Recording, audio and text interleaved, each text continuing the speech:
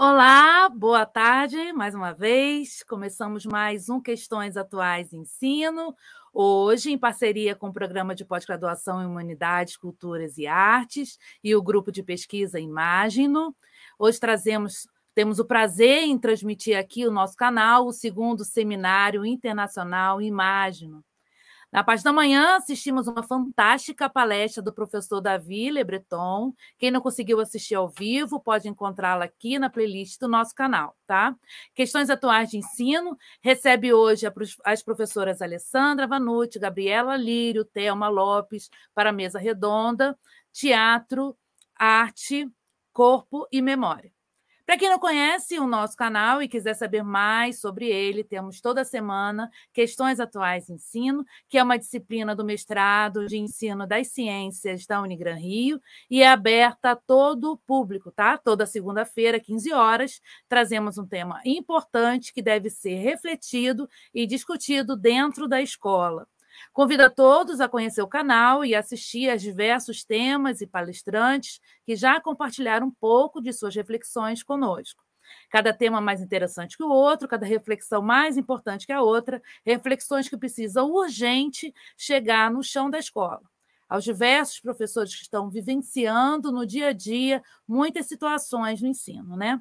Como já falei do canal, agora vamos dar continuidade ao segundo seminário internacional do Imagino, é, gostaria de dar boas-vindas aos alunos do PPG-HCA, aos alunos do PPG-EC, aos convidados, aos professores e a todos que estão ao vivo nos assistindo. Gente, sejam todos bem-vindos. Vou falar com vocês a professora Tamara. Tamara, com você agora. Obrigada, Eline. Boa tarde a todos e todas. É uma honra estar aqui para ajudar na mediação dessa mesa. A gente começa, então, agora, como a Eline falou, mais uma atividade do segundo seminário internacional Imagino e questões atuais em ensino. Né, fomos aí brindados pelo Davi Lebreton de manhã e agora a gente tem então a honra de receber né, é, as professoras convidadas para a mesa Arte, Teatro, Corpo e Memória. São elas as professoras Alessandra Vanucci, da UFRJ, Gabriela Lírio, da UFRJ, Thelma Lopes, da CCIERG, além das nossas professoras da casa, né? Ana Paula Lemos, do Programa de Pós-Graduação em Humanidades, Culturas e Artes, Beatriz Brandão e Denise Figueira Oliveira, ambas do Programa de Pós-Graduação em Ensino de Ciência. Né? Para quem não me conhece, eu sou a professora Tamara Campos, né? eu sou do programa de pós-graduação em Humanidades, Culturas e Artes. Né? E a gente vai estar tá aí, então, nessa mesa, pessoal, conversando um pouco, de, é, pegando um pouco essa interface entre a questão do corpo e a questão artística e do teatro, né? A gente experimenta o mundo pelo corpo e pelas artes, né? A gente se relaciona com o mundo e com nós mesmos a partir do nosso corpo e das diversas expressões artísticas, né? E com isso a gente cria memórias individuais e, e coletivas, né? Mas antes da gente iniciar essa conversa, eu tenho então o prazer de passar a palavra para a professora Beatriz Brandão. A Beatriz vai explicar como é que a pesquisa dela se relaciona com o trabalho desenvolvido pela professora Alessandra Vanucci. Oi, Bia, é um prazer. Oi, Tamara, um prazer retornar aqui, né? Depois do que tivemos, já falamos a palestra incrível com o professor Davi Le Breton. Então, eu acho que essa continuidade de palestras, né, ouvindo essas mulheres, professoras, pesquisadoras da arte, que trazem para a educação e ensino, acho que só continua para a gente abrilhantar a nossa tarde muito boa, muito importante do Imagino com as questões atuais dos nossos programas. Bom, eu quero dar as boas-vindas à professora Alessandra Vanucci, para mim é uma grande honra tê-la aqui, revê-la também é uma, é uma alegria muito grande. A Alessandra, seja bem-vinda, Alessandra. A Alessandra ela é professora é, da UFRJ, do curso de direção teatral. A Alessandra ela tem mais de 30 montagens, livros circulando pelo Brasil, projetos nacionais, internacionais. Ela também conheceu o, o, Augusto Boal desde a década de 90 e desde então, desse encontro, é, vem produzindo é, é, projetos relacionados também à teoria que o Boal deixou. além de um vastíssimo conhecimento, tanto teórico quanto prático, que ela traz para a universidade e ela traz é, para a arte também, a partir das suas montagens, dos seus projetos, para literatura, enfim. Uma mulher múltipla, então estou feliz de tê-la aqui. Eu e a Alessandra, nós nos conhecemos a partir do Laboratório de Estética e Política, o LEP, que ela coordena.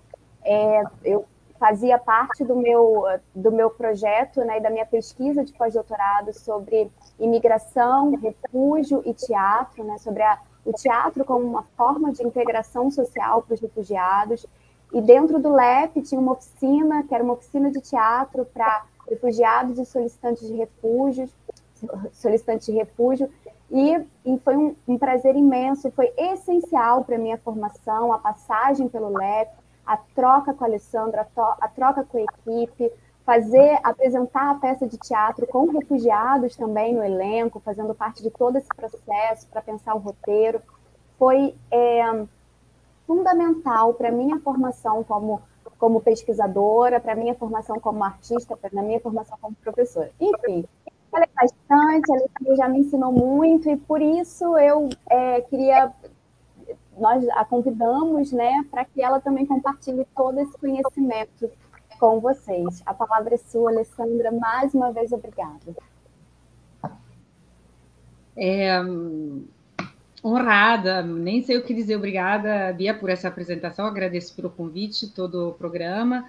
É, fico muito, extremamente feliz de compartilhar essa mesa com a Thelma e a Gabriela que são professoras de instituições é, é, absolutamente que eu tenho muito carinho e que tiveram comigo parte de sua experiência artística compartilhada em diversos momentos e é um prazer reencontrá-las hoje. E agradeço todos os presentes pela atenção que vão que vão dar a gente. Eu queria me apresentar é, descrevendo-me também, né? Eu, tenho um cabelo castanho, é, tenho os olhos castanhos também tenho a, a, pele clara, atrás de mim tem uma estante de livros, tenho 53 anos, é, algumas rugas, é, devidas a, enfim, a minha idade, mas a gente está bonita. Eu queria que a, a, a Bia mostrasse a minha primeira imagem, porque é essa que vocês vão ver agora. Não, a primeira é a primeira mesmo. É, é uma atriz já vou dizer, não sou eu, é a atriz Ana Magnani, não sei se vocês estão vendo, espero que sim. Eu titulei meu, meu, meu minha pequena palestra aqui Arte, Arte, Corpo, Memória, mas eu queria juntar agora também o mundo, né? Arte, Corpo, Memória e Mundo, né? Foi citado agora recentemente por uma de vocês e lembrei que é importante para mim. Se todo mundo está me ouvindo, eu vou dizer que essa não sou eu, né? Essa que vocês estão vendo, no, mas é a atriz Ana Magnani, que é aos 48 anos, um pouco mais jovem do que eu, é, ganhou o Oscar né, de melhor atriz. Então, e ela, na sessão de maquiagem, antes do Oscar, essa é uma lenda, não sei se ela falou isso realmente, mas enfim, se diz que ela pediu para a maquiadora deixar as minhas rugas. Ela disse demorei uma vida para consegui-las. É, sendo artista, né, ou melhor, estando na arte, num vir a ser que eu não premeditei, mas aprendi fazendo, com 40 anos, é, me desafiei, fui desafiada, fui convidada a me desafiar pela tarefa de ensinar a ser artista. E como ensinar aquilo que eu nunca fui ensinada. Né? Há uma aforisma do, do Bernard Shaw, que sempre me vem à cabeça, que é um pouco é, destrutivo a propósito. Ele diz: aquele que sabe, faz, aquele que não sabe, ensina. Eu sei que é um pouco cínico dizer isso no começo da palestra, mas eu prefiro compreender esse aforisma pelo avesso, ou seja, é, eu, eu, entendo que para ensinar é, é, melhor não saber, esquecer, deixar, deixar que, que aconteça. Né? Não há caminho certo, não há receita, não há manual. A arte não é comunicação, ela não contém instruções, não obedece regras, né? Como diz o Gilles Deleuze na palestra de 1987 na FEMIS, Escola de Cinema de Paris, sobre o que seria um ato de criação. Mas né, pode haver método nessa loucura não um método de física nem de metafísica, mas eu diria de patafísica. não sou eu que digo isso, né? É uma sugestão do Alfred Jarry, que em 1898 propôs que existisse, além da física e da metafísica, uma ciência das soluções imaginárias e das leis que regulam exceções. Eu acho que essa, essa ciência é, indispensável, né? A, a ciência das leis que regulam exceções. O método paradoxal, é isso que a gente procura, né? Ainda, ainda assim, mesmo paradoxal, capaz de gerar um arsenal de meios empíricos, digamos, é, modos de fazer. É, que se constrói e se desconstrói a cada montagem, no caso do teatro, a cada processo criativo, a cada ciclo didático eu realmente me adaptei ao ensino na universidade só porque compreendo a tarefa pedagógica como uma prática de processo artístico, de, de criação e também de entretenimento. Então, por um lado, né, a criação vinculada ao entretenimento, e, por outro lado, o modo de fazer interativo, coletivo, regrado e possivelmente inconsequente, ou seja, inútil, um jogo. O prazer próprio da era científica, dizia o Bertolt Brecht, é o prazer da aprendizagem. Eu acho que isso a gente faz com a arte, a gente faz no ensino também. É, eu disse coletivo, entre as outras palavras que eu disse antes, porque nessa prática me parece que dilui-se a contemplação individual, que era própria dos sábios dedicados ao estudo da arte na Alta Idade Média. Você pode projetar a, a, a minha imagem 2, eu acho que é, deve ser a 2, é essa, né? San Gerolamo no estúdio Antônio da Messina, 1474. Vocês veem que ele está muito sozinho, apesar da presença de alguns animais, né? Bibliotecas ficavam em mosteiros e pintura, música, até mesmo dança eram admitidas eh, nos lugares públicos somente quando fossem postas a serviço da liturgia. A melancolia que emana daquelas, daqueles corpos recolhidos, curvados e solitários é outra coisa é, do, do hedonismo, dos corpos abertos à vontade, confortáveis, que lotam ginásios e simpósios quando pensamos né, em espaços gregos, por exemplo, e as madraças, quando pensamos em espaços árabes, e certamente também as árvores né, do ensino nas aldeias indígenas, onde as culturas antigas situavam a aprendizagem. Pode ir com a imagem número 3, por favor? Essa, por exemplo, a Escola de Atenas, né? É, uma, é, um, é um fresco do Raffaello Sanzio, 1510, é, Roma, né? Eu estou um pouquinho italianizada, primeiro porque eu sou italiana, né? e segundo porque estou na Itália agora. Então, me perdoem né, né, nessa, nessa referência. Mas a universidade, vejam, desde seu início, né? Me interessa isso, né? Como mundo, né? Universidade como lugar do mundo, né? Por isso que eu juntei isso no título agora. Então, a primeira universidade parece que foi Fez, no Marrocos, em 1988, e Bolonha em 1888. Bolonha é a cidade onde eu estudei, na universidade que me, que me, que me criou, né? Ela é pública e laica. Eu estou falando de universidade em termos históricos, né? Porque, claro, que tem outros, outras formas de aprendizagem também é, sendo que seu surgimento é explicitamente vinculado ao propósito laico de franquear a gramática, lógica, retórica, filosofia e arte do uso eclesiástico. Né? A universidade é universal, ou seja, sem vínculo de pertencimento, como poderia ser, por exemplo, um vínculo de nacionalidade, de credo, de etnia e de lugar. Pois é, desde o início, gente, professores mudavam frequentemente de lugar. E atrás deles, né, mudava-se os estudantes, não sem antes celebrar o fim é, daquela sede de sessão de ensino com uma festa memorável que chamava de Magna Cessatio, grande fim, né? grande finalização. Corpos e corporações nômades, assim como as companhias de arte, de teatro, né? e todo o ensinamento decorado, ou seja, guardado no coração, no coração, decorado, decor, né? O português nesse sentido é perfeito, né? Porque decor, guardado no coração, onde a fisiologia medieval situava a memória. O que guardava de cor? Bom, no caso Aristóteles, no caso de Bolonha, por exemplo, no ano 1000, né, Aristóteles, Platão, princípios de matemática e artes, principalmente as artes médicas, como cirurgia ótica e anatomia. Veja bem, isso era considerado arte, né? É, no sentido modo de fazer aplicado ao corpo, né, as percepções. Essas eram disciplinas experimentadas diretamente nos corpos. Bom, eram cadáveres, gente, cadáveres em exibições públicas nos teatros ditos anatômicos esse tipo de teatro, a imagem 4, por favor. Aqui, ó. Teatro Anatômico da Universidade de Bolonha, Arquiginásio da Universidade de Pádua. É, outras artes, né, como pintura, escultura, música, se aprendiam fazendo, na prática da bottega, em italiano, é, correspondente ao ateliê, que seria, né? É, na convivência, então, entre mestre e aprendiz. O que, que significa isso? Que nada era ensinado.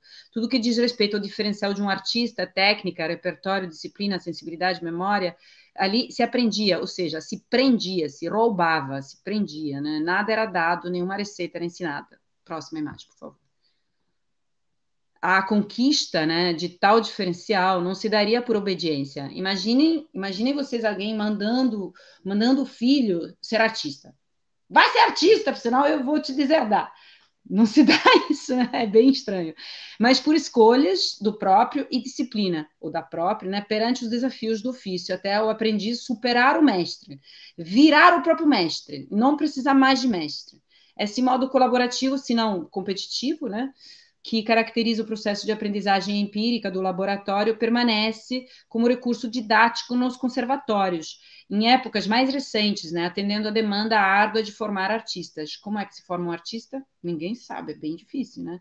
Talvez é o próprio que se forma, né? Não se trata, portanto, de da mesma coisa que formar engenheiros, ou é, com todo respeito para os engenheiros, claramente, né? Mas é, parece improvável ensinar alguém a ser criativo.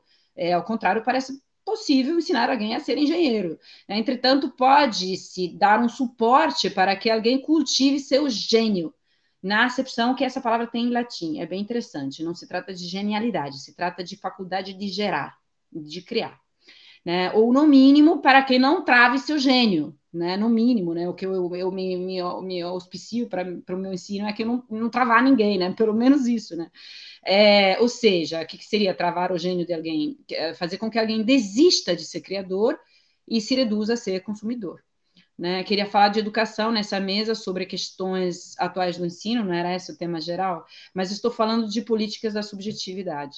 Um artista tem relação subjetiva com seu instrumento de trabalho. Não adianta pôr um violino construído por Stradivari, um grande violeiro, o melhor do mundo, na mão de alguém que toca flauta. Não adianta, ele não vai saber tocar, né? No caso do teatro, entre artes todas, essa destinada desde a antiguidade aos mais miseráveis, aos que é, não tinha mais nada o que fazer e, portanto, adotavam o teatro, né? É, a não ser seguir a tradição familiar, se falava de famílias de arte, né? Porque você herdava, né, a arte junto com a família, né, de pai para filho. Tais ferramentas são são o quê? São somente corpo e voz. Só, só, não há outros ferramentas. Com algum dinheiro, o sujeito compara, compraria pigmentos ou um instrumento musical e tentaria ser músico ou pintor. Era bem melhor que ser ator. Né? No caso do teatro, o material da arte é a própria vida. Essa é a extravagante vantagem do teatro, na minha opinião. O instrumento é o próprio corpo do artista e da artista, e, portanto, aquilo que o corpo vive, aquilo que o corpo aprendeu. Isso é muito peculiar, né? Porque todo qualquer processo de aprendizagem, de aprendizado ao longo da existência passa pela experiência sensível, pelos cinco sentidos, construindo um aparelho único de desejos, vontades, escolhas que é cada sujeito. Né? Então, cada um de nós é artista, né? Pelo fato que aprendeu vivendo. Né? Ainda eh, na barriga, o feto molda seus aparatos sensórios, prontos para entrar em função, mas desinformado, sem nenhuma informação. Todo mundo que é mãe, que é pai, sabe disso, né? A gente não lembra, mas quando vira mãe, pai, é, aprende novamente. Né? Informações são geradas sucessivamente por experiência, por meio de procedimento neuronal chamado sinapse. Vocês todos sabem disso, né? Mas é um mini choque elétrico que gera nexos, depois circuitos, até chegar a uma gigantesca, enorme rede que constitui a vida psíquica de um sujeito de modo absolutamente singular, como memória irrepetível das relações entre seu corpo e o mundo não há possibilidade, espero que vocês me entendam, e não estou vendo vocês, não vejo as caras de vocês, não há possibilidade de, de dois sujeitos serem iguais, idênticos, é impossível que a sequência seja idêntica. O campo sensível, então, mobiliza o corpo, mesmo antes do campo simbólico aparecer. Ou seja, antes daquele sujeito receber um nome e dar nome às coisas. Né? O feto faz experiências e gera sinapses a partir das informações que recebe através do corpo da mãe ainda antes né, de vir ao mundo. Sons, imagens, palavras, violência, carinho, conforto ou desconforto. Somos o que lembramos que somos. Freud explica isso, né? É, no sentido amplo, é claro, né? É, do consciente e do inconsciente também. O sistema nervoso não se resume ao cérebro, né? É, mas tem seu duplicado nas vísceras e conecta o corpo todo. É, assim, posso dizer que eu sinto medo na barriga, amor no estômago, que eu danço com os olhos, que eu penso com as mãos, né? Vocês não estão me vendo dar aula normalmente, mas os alunos sabem disso, que eu vi na memória alguém, e alguém hoje poderia me acusar de estar falando pelos cotovelos. Cada informação que armazenamos vem acoplada a emoções e atrelada ao contexto no qual foi aprendida, foi, foi recebida, né? foi absorvida. Pensemos nisso, né? Quando ensinamos uma criança a pegar ou não pegar em algo. Não pegue! Aí o tom que você diz fica, fica marcado dentro, aquela, dentro daquela ordem, né? A praticar ou reprimir um hábito. Se educar, entre aspas, tá, for reduzido a instruir, só pode ser um método exclusivo, repressivo, pois recomendações e proibições implicam modos de usar o mundo que excluem outras.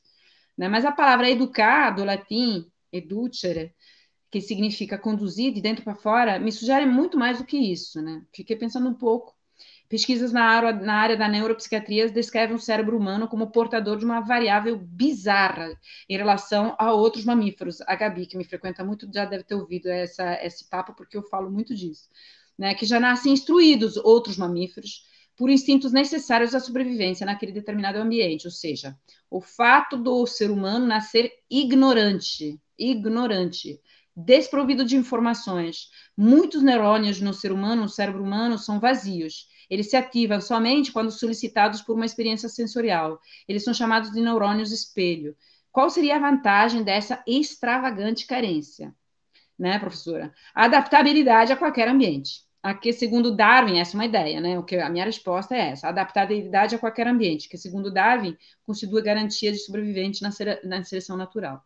Ainda assim, né, o método dos neurônios espelhos armazenar informações é um método que os neuropsiquiatras chamam de simulação encarnada. Vale dizer, por imitação da ação alheia. Não uma cópia de fora para dentro, já volto àquela questão da educação, tá? Mas uma reprodução empática, simulação encarnada, de dentro para fora. Exemplo: um gato brinca, né? É, inclusive, ele a vida toda ele pode brincar com um cachorro, a gente sabe disso. Mas ele não brinca de cachorro ele não traz o osso, né? Parece que nunca aprende uh, outra, outra maneira de ser a não ser, ser gato, né? Já uma criança que porventura cresça com leões, aprenda a ser leão, morder, caçar, matar, até o leão ficar com fome e devorá-lo porque o leão não esquece seus instintos. A empatia é, segundo a psicologia, já, por exemplo, o ser humano pode vir a, vir a ser vegetariano. Não sei se vocês me seguem nesse raciocínio, mas eu acho que isso é bastante peculiar, né? O leão não, não, não escolhe ser vegetariano, né? O instinto é muito forte, né? A empatia é, segundo a psicologia, um modo específico da percepção humana. Humana é criar dentro de si, por simulação de dentro para fora, a percepção que o outro sente, mesmo sem saber o sentido, mesmo sem executar a ação que produziu no outro aquela percepção. Assim, a construção da subjetividade corresponde à descoberta do outro de dentro para fora. A memória sensorial ela tem função fundamental na articulação dessa lógica. Suponhamos que eu veja algo azul brilhar no meio do deserto. Meu cérebro vai completar a imagem conforme o que o cérebro já aprendeu ser azul e eu vou ficar com sede, água, né? É, ou suponhamos que eu ouça alguém derrubar árvores no breu da floresta. Meu cérebro vai completar a imagem do lenhador, mesmo que eu nunca tenha visto um lenhador ao vivo, mas só em pintura, ou em fotografia, ou num filme, ou em sonho. Né? Pela memória, independente que seja algo real ou de ficção, a imaginação humana propõe diversas formas para completar o que falta à percepção. Né? Há uma potência incalculável de criação de mundos nessa lógica de funcionamento sinestésico entre os sentidos que se completam um ao outro, mesmo que se enganem, sabendo estar enganados. Por exemplo, por exemplo, ao ouvir aquele som do aproximar-se do tubarão, vocês lembram? Eu fico apavorado. Né? Assim, mesmo que eu saiba com certeza que aquilo é ficção. Né? Assim como alguém pode perceber o que pode estar provando o outro por dentro e qual a lógica de seu sentido, também pode se ver de fora. A pessoa pode se ver de fora e perceber-se como se fosse o outro. Por exemplo, quando passa em frente a uma vitrine de cara, não me reconhece. Quem é aquela pessoa? Sou eu. Ui, sei o que, aí eu, aí eu modifico meu corpo, né? Mas de cara eu não me reconheço, me vejo de fora, né? O corpo esquizo, esse corpo duplo, é capaz de estar aí simultaneamente como eu e como não eu, ou outro. Né? Essa percepção de si no contexto dita propriocepção, aprendi hoje numa exposição sobre cérebro, né, na, na, na Fundação Prada, em Milão, propriocepção, né, constitui prerrogativa fenomenológica do modo humano de aprender o mundo. É a vantagem, por quê? Por que é vantagem? Porque remete, permite à espécie a imaginação de alternativas à ação eventualmente ditada pelo instinto. Ou seja, a gente pode imaginar, imaginar o que eu faria e o que eu faria se eu não fosse eu alternativa ao instinto. Né? Veja o que os gregos chamavam psique, a alma, onde colocavam a faculdade do pensamento, daí psicologia, por exemplo. Né? E ao, tempo, ao mesmo tempo também chamavam de psique o espelho, daí palavras como psicodélico, etc., né? psicodrama, ou seja, ou seja, os gregos relacionavam a alma, a prerrogativa do sujeito humano, à faculdade mimética, de imitar, na esfera ficcional, de se ver de fora, né? Boal concorda. Bom, Boal tinha que chegar nesse papo, né, numa hora, né, porque ele se interessa muito também, né, nessa, no livro que, no, no último livro dele, né, que trata do, da capacidade sensível e capacidade simbólica, né, que é a estética dos oprimidos. Boal concorda e faz um excelente exemplo. Ele diz o seguinte: lá na pré-história, né, o caçador caça, assim como o leão, mas o caçador se retrata em imagem enquanto caça e retrata inclusive o leão. Isso o leão não faz. Então, isso tem a ver com, é, seja por um lado, a capacidade de subjetivação através da imitação é, da ação, e seja com a criação da arte, né, evidentemente, né, no caso, a arte mimética, imitativa. O ser humano, portanto, se subjetiva através de um processo mimético de representar e analisar a si mesmo no mundo que chamamos arte. Todo ser humano é artista, gente. Não é só os artistas que é artista. Né? Todo ser humano é artista de modo especial. Né? Aristóteles definia o homem como um animal político. Não é uma coisa diferente, não. Ele quer dizer que ser um instinto é aprender a conviver se vendo em ação no mundo. Político, nesse sentido, né? Politicós, né? Alguém na polis, né? Na cidade, né? Qualquer processo de educação, para voltar, né? Onde eu parti, né? Que leve isso em conta, deve visualizar esse corpo-mente aberto ao mundo, esse ser político, né? Esse duplo movimento de fora para dentro, de dentro para fora. É um corpo que, buscando ser si mesmo, né, nesse sentido a palavra ética também, né, do ponto de vista filológico, não nada mais é que uma evolução do ego, né, ego éticos, né, então ética é ser si mesmo, é a seidade, né, é ser o si mesmo. Aprende e incorpora outros modos de fazer e de ser, né, a gente só pode ser si mesmo quando a gente aprende a ser outro. Voltando ao Deleuze, então, lembra? Depois de afirmar aquilo, né, chocante que a arte não é informação, ele ainda diz que é o oposto, a arte é contra a informação. Aí, nossa, Deleuze, a gente fica assim, como assim? Peraí. Né? É, uma tática, principalmente nós, né, que somos a escola de comunicação, né? Então, assim, a arte não é informação, ela é contra-informação. Né? Uma tática de resistência, diz Deleuze, a qualquer lógica pré-instruída. No caso, vem à mente o sistema hegemônico de algoritmos e palavras de ordem que conhecemos como mídia, né? Claro, né? Mas, sério, o que significaria resistência no processo de ensino-aprendizagem? O quê? Como é que a gente pode procurar isso? Ensinar a resistência. Observo primeiramente que a palavra, a palavra resistência acessa o campo semântico da potência e não da força. Né? Na definição de Aristóteles, mais uma vez, né, potência, dizia, eh, ele usa a palavra dinamis, em grego, né, não corresponde a energia. Ele usa a palavra energeia, que é uma palavra que ele inventa. Né? Energeia é em obra, em ergo, né, em obra. Então, o que, que Aristóteles diz? Que haveria uma potência, impotência, que não se contém na obra. Então, tem duas formas de potência: uma potência em obra e uma potência em potência, que não se contém na obra. Né? O, é, isso implica, portanto, na minha, na minha opinião, aqui, uma resistência. Né? É, a potência contém em si a potência de não se reduzir à obra ou ao ato de criar a obra. O fogo, por exemplo, né, esse é um exemplo de Aristóteles, né, pode somente arder. Essa a, a, a força dele é arder. Enquanto o ser humano pode agir como não agir. Né, ele pode resistir ao instinto de agir. Então, Aristóteles chama isso uma palavra fantástica, né, que é diferente da que Deleuze usa, é suspensão da potência. Algo que emancipa a ação humana da mera utilidade ou execução de instruções. Ser humano, então, é aquele animal sem obra. Ele não precisa necessariamente ser obra, né? O arquiteto continua criando, mesmo quando ele não constrói. O fogo, ele pode somente ser fogo ardendo, né?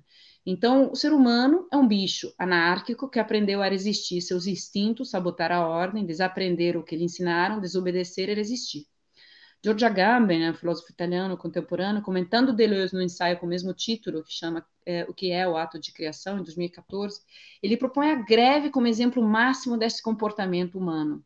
A greve, né? Então, os operários jogavam um tamanco, sabot, em francês, daí a palavra sabotagem, para que a máquina parasse de obrigá-los à repetição compulsiva dos mesmos gestos. Lembrem Charlot, né, que sabota a máquina com seu próprio corpo em tempos modernos. Novos gestos surgem, diz Agamben, e inopera, essa é uma palavra do Agamben, né, ou seja, resistem à operosidade do sistema ordenado do trabalho, que é regido pelo princípio da eficiência, da utilidade e, em última análise, da produção de mercadoria. A arte em si é um gesto desse um gesto sabotador, porque visa a inutilidade, entre outras práticas ordenadas de trabalho, né? É, a arte não é diferente de outras práticas de trabalho, é o modo de fazer também. Mas a obra que a arte produz, quando a produz, porque às vezes nem a produz, né? Isso é bom, né, eu acho. É um ready-made, ou seja, algo deslocado de seu espaço de uso. Como bem entendemos, eu queria a próxima imagem. Por essa imagem aqui, né? O cachimbo de Magritte, 1928, que não pode ser fumado, entendem? É um ready-made no sentido que, se sim, né? Pau and paper. Esse não é um cachimbo, você não pode tirá-lo daí e fumá-lo. Ele não tem utilidade da, da, maneira que a gente entende da utilidade do cachimbo, né? Agamben diz que a poesia, por exemplo, é, aspas, uma operação da linguagem que desativa as funções comunicativas e informativas da língua para abrir-lhe um novo e possível uso. A gente bem entende isso, né? A poesia não obedece à gramática ela desobedece, ela resiste à gramática. É por isso que ela abre um novo possível uso da língua, infinito, imenso. Né? Um corpo que dança, então, é o cúmulo da inoperosidade, mesmo sendo um corpo ativo, pois aquele modo de fazer é inteiramente desalienado, livre de qualquer utilidade a não ser a performance de si enquanto acontece. Aristóteles dizia que essa é a forma mais sublime de pensamento, dotado de entelequia, quando não tem o objetivo fora de si, mas o objetivo é a performance em si, como a filosofia a dança, né? É, a dança, então, como a filosofia, é pensamento daquilo que não pode ser pensado. Se pudesse ser pensado, explicado em palavras, seu significado, não dançaria, dizia Pina Bausch, né? Se eu pudesse explicar o que eu estou dançando em palavras, eu não dançaria. Né? Quero concluir dizendo que a arte é um comportamento inoperoso que expõe e suspende a potência de criação de um sujeito e de outro, mas enfim, nunca o mesmo, né? resistindo à ordem vigente e abrindo o corpo a outros modos de ser e viver no mundo. Nesse sentido, a arte é uma experiência é, é, é sensorial, relacional, que incentiva sinapses, mesmo quando já somos crescidos e aparentemente nosso processo de aprendizagem acabou. A arte continua nós obrigando a aprender, né? O que? Presentifica fantasmas e apresenta o irrepresentável, aquilo que o olhar não segura, aquilo que o tato nunca tocou, e desperta o perfume da infância, faz ressoar o que estava calado, proibido, removido, esquecido. Há outro, porém, é, sentido, né? Eu, eu, prometi terminar já estou terminando, né? É, que vocês leem no título dessa imagem, veja, a traição das imagens, né? Eu fiquei um pouquinho incomodada com esse título, traição das imagens, né? Mas isso é relevante, pensem, para alguém que tem por ofício ensinar artes hoje, né? Nesse regime, não sei se você sabe que hoje a direita ganhou na Itália por 20, 40, quase 40% dos votos. Né? Pois regimes hegemônicos e totalitários têm interesses em educar as subjetividades, empregando massivamente as artes, especialmente as artes miméticas, como dispositivos de manipulação, controle e repressão. Esse procedimento tem sido descrito em diversas épocas com termos como catarse, por Aristóteles, como indústria cultural, por Adorno, sociedade do espetáculo, por Guy Debord, no século XX, etc, etc, etc né? reduzido à passividade, separado do mundo real, que está sendo duplicado no palco, na tela, inclusive no celular, eu acho que é esse exemplo mais confortável hoje, né? O espectador consome cenas da realidade, ou, digamos, consome a própria realidade, que incorpora e naturaliza as desigualdades existentes, como se fosse ficção, ou seja, excluindo-se, excluindo a si mesmo das consequências e ainda sentindo prazer em não ser pessoalmente envolvido. Estamos vivendo hoje o auge da sociedade do espetáculo, né? A proliferação reiterada de imagens é traidora, pois com a nossa cumplicidade de espectadores tende a legitimar determinada, predeterminada ordenação de mundo. Então, a traição talvez consista no fato que a empatia que caracteriza os processos de aprendizagem humana pode ser manipulada, ou seja, utilizada sem o consentimento da pessoa, né, do sujeito, para assujeitar o sujeito em vez de subjetivá-lo.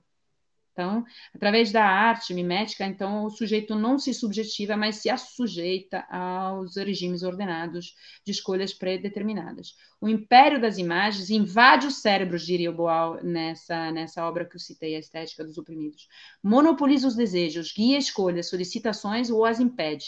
Finalmente, inibe a criatividade dos processos de aprendizagem e reduz indivíduos em consumidores. Por que, que eu tenho tanta noia de consumidores? Porque eles são consensuais, compulsivos, anestesiados. Estou falando de nós mesmos também como, como consumidores. Esta condição não só é péssima, como pode piorar. Porque quanto mais contemplamos, menos sabemos e menos somos. O que fazer? Talvez parar de estudar? Última imagem, por favor.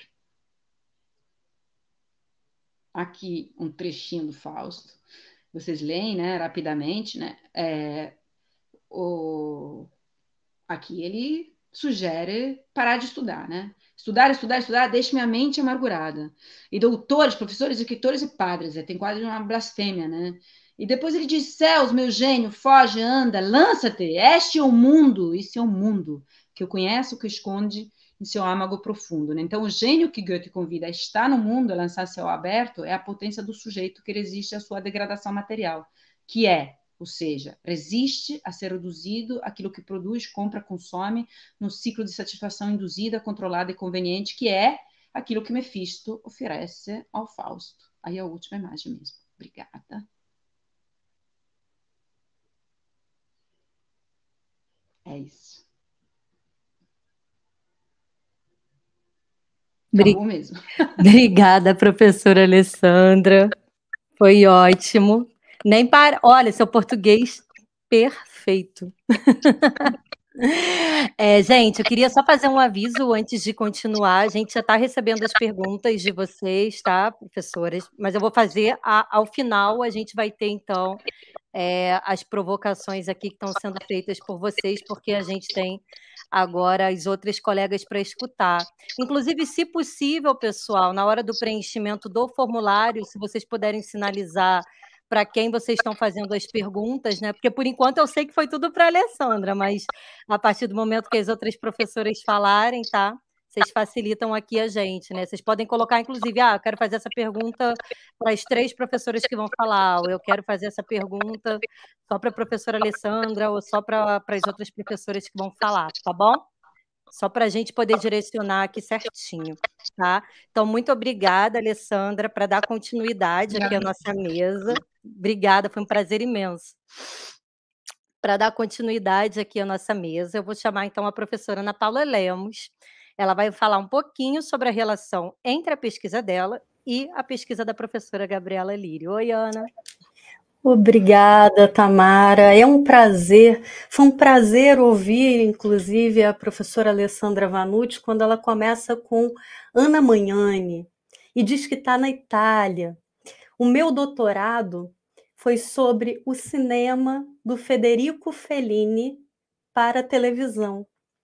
E quando eu vim para a Unigran Rio trabalhar com a Baixada Fluminense, eu encontrei um coletivo chamado Rede Baixada em Cena, em que trabalhava com 18 grupos de teatro da Baixada Fluminense em rede e utilizando das tecnologias das redes sociais.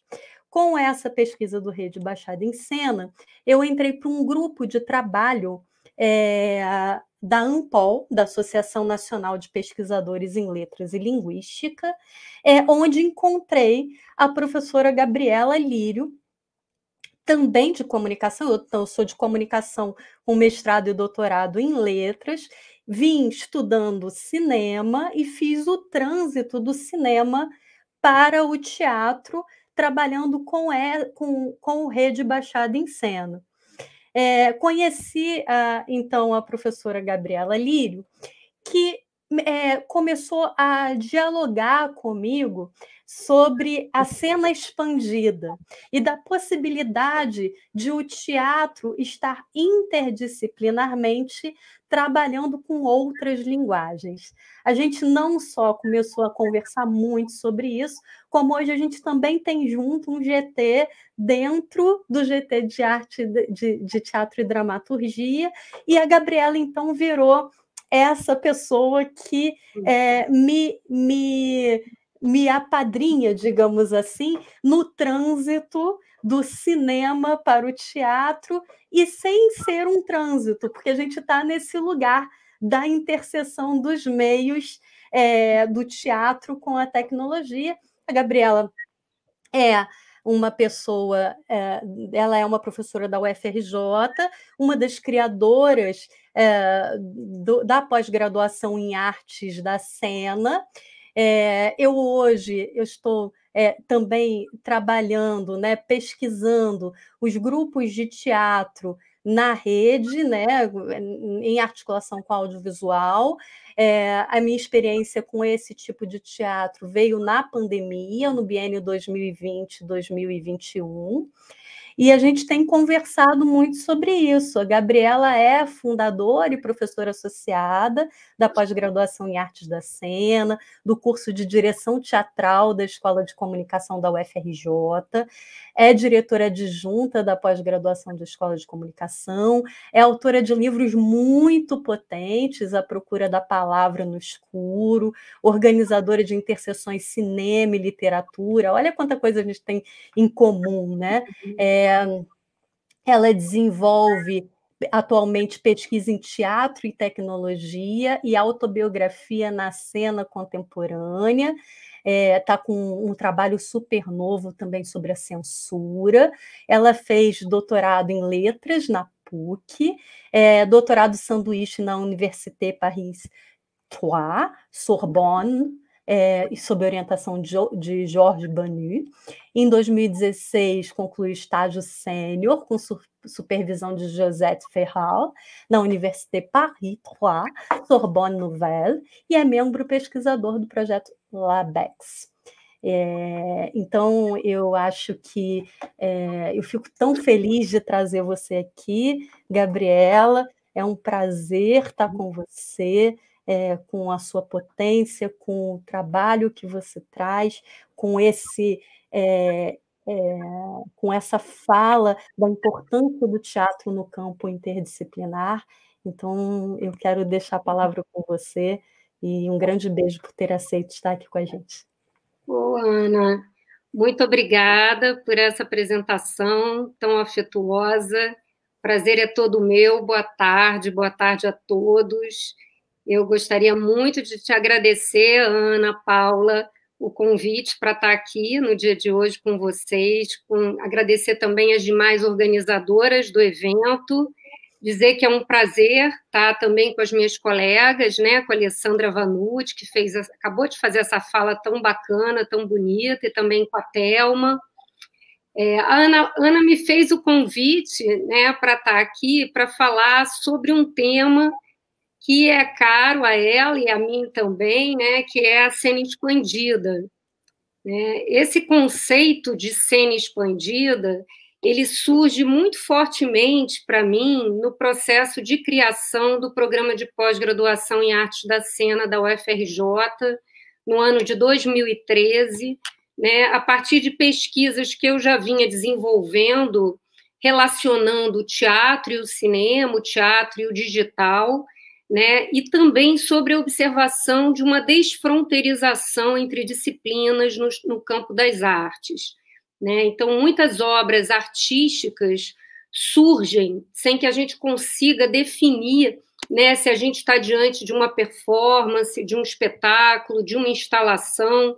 Então, obras de artistas como Cristiane Jataí, Castellucci, Jean Fabre, Denise Stutz, Rabi Mirouet, né, e tantos outros artistas que vem, que a gente foi notando com o passar do tempo, né, que foram se multiplicando agora no século XXI. Né? Há um lugar híbrido de pesquisa em que o predomínio da tecnologia da relação com um corpo igualmente expandido ou ampliado se faz muito presente.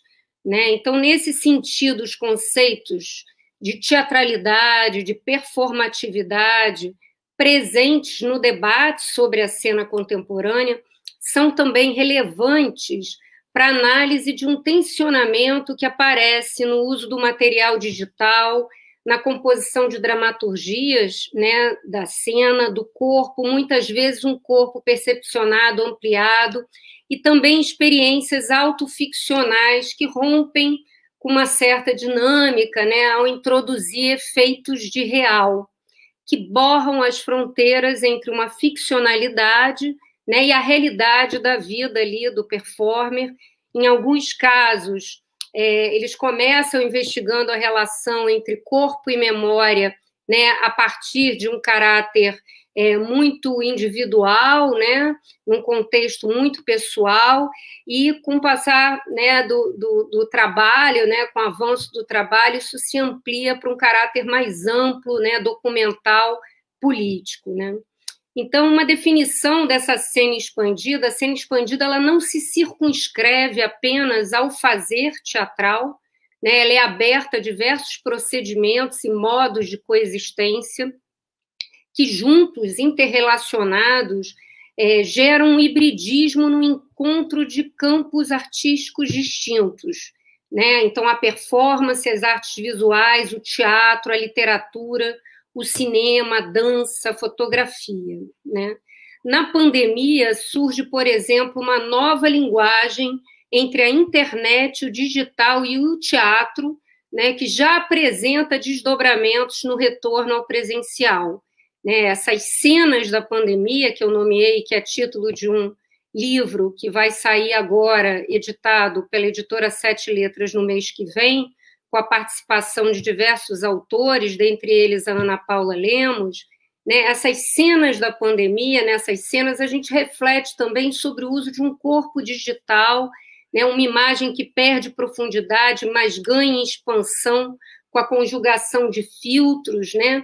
E no atrito entre uma performatividade que é oriunda do acaso, muitas vezes, de uma apresentação ao vivo, quando não são materiais pré-gravados, né? E de uma nova relação que se estabelece com o espectador, também de uma teatralidade que é muito presente num espaço que na pandemia a gente viu, né? Havia uma necessidade desses artistas é, trabalharem né? Então, muitas vezes, os espaços escolhidos eram os espaços da casa, os espaços da intimidade, né? o que deu também uma nova configuração para essas cenas. Quer dizer, o teatro digital ele não era uma coisa nova, mas sem dúvida nenhuma houve um, um crescimento imenso nessa pandemia na utilização, inclusive, de softwares que antes a gente não usava, como o Zoom.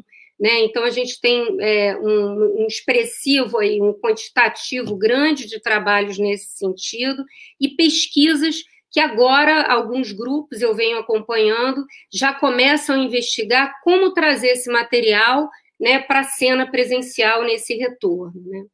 Hoje, pensando um pouco essa relação entre corpo, memória, tecnologia, falando de teatro, eu pensei em falar sobre alguns trabalhos, né? pensando um pouco é, o gênero da palestra performance, né? que não é novo se a gente pega a, obra de um Spalding Gray, por exemplo, né? mas que vem é, é, alguns anos se desdobrando em experiências muito interessantes, em outros campos, inclusive. No campo da literatura, eu posso citar um trabalho de uma amiga é, querida, que é escritora, tradutora, professora, que é a Paloma Vidal, professora da Unesp, né, que criou o Em Obras né, a partir da, da ideia de reunir várias mulheres, né, artistas de campos distintos da literatura, do cinema, é, é, das artes da cena, né, mulheres que estão ligadas ao ensino, à pesquisa, à produção de um pensamento teórico crítico e que, ao mesmo tempo, têm muita vontade de experimentar artisticamente né, com, a, com as suas pesquisas e pensando é, de um modo autoficcional essas obras. Né? Então, Verônica Stiger, Diana Klinger, Ilana Feldman, Elisa Pessoa, são algumas dessas mulheres que, junto com Paloma Vidal, criam é, o Em Obras. Né? A Paloma diz uma coisa muito interessante, né? que a palestra performance é um tipo de apresentação que parte de alguma questão muito pessoal, autoficcional, né, de cada uma delas, né, e, enfim, é, adentra aí o campo da performance, que tem a ver com o ato também de se colocar, no caso do Em Obras, em primeira pessoa, né, se colocar de modo autorreferencial, pensando no que é estar ali presente, no sentido da presença, né, e um corpo são corpos é, em trânsito, né, entre imagens, poemas, testemunhos, né, o corpo da Paloma, por exemplo, também num determinado momento tem uma relação com a imagem, se levanta, dança, é um corpo subversivo, né? Lucas, eu vou te pedir para você colocar o slide, por favor.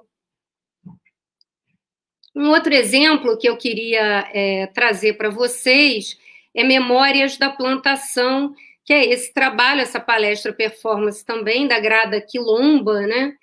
É, que tem uma formação interdisciplinar e tem um papel muito relevante na luta contra o racismo, né, contra o racismo estrutural, partindo da sua própria história de discriminação sofrida, né, para pensar sobre política, sobre outros modos de coexistência, de resistência por meio de imagens de outros corpos negros brutalmente estigmatizados ao longo da nossa história, como foi Anastácia. Pode passar, Lucas, a imagem. É, que tem a imagem da mordaça né, presa ao rosto como uma forma de silenciamento e tortura. Né? Em cena, é, a Grada Quilomba se, se utiliza também de amplo material documental, fotografias, imagens digitais. Você pode passar, por favor, Lucas. O que compõe essa cena expandida, essa cena ampliada, híbrida, né? Ao questionar também quem pode produzir conhecimento, quem pode performar conhecimento, uma vez que o conhecimento, para ela, não constitui um estudo apocalíptico da verdade. Né? O conhecimento hoje legitima uma sociedade colonial, branca, patriarcal. Pode passar, Lucas, por favor.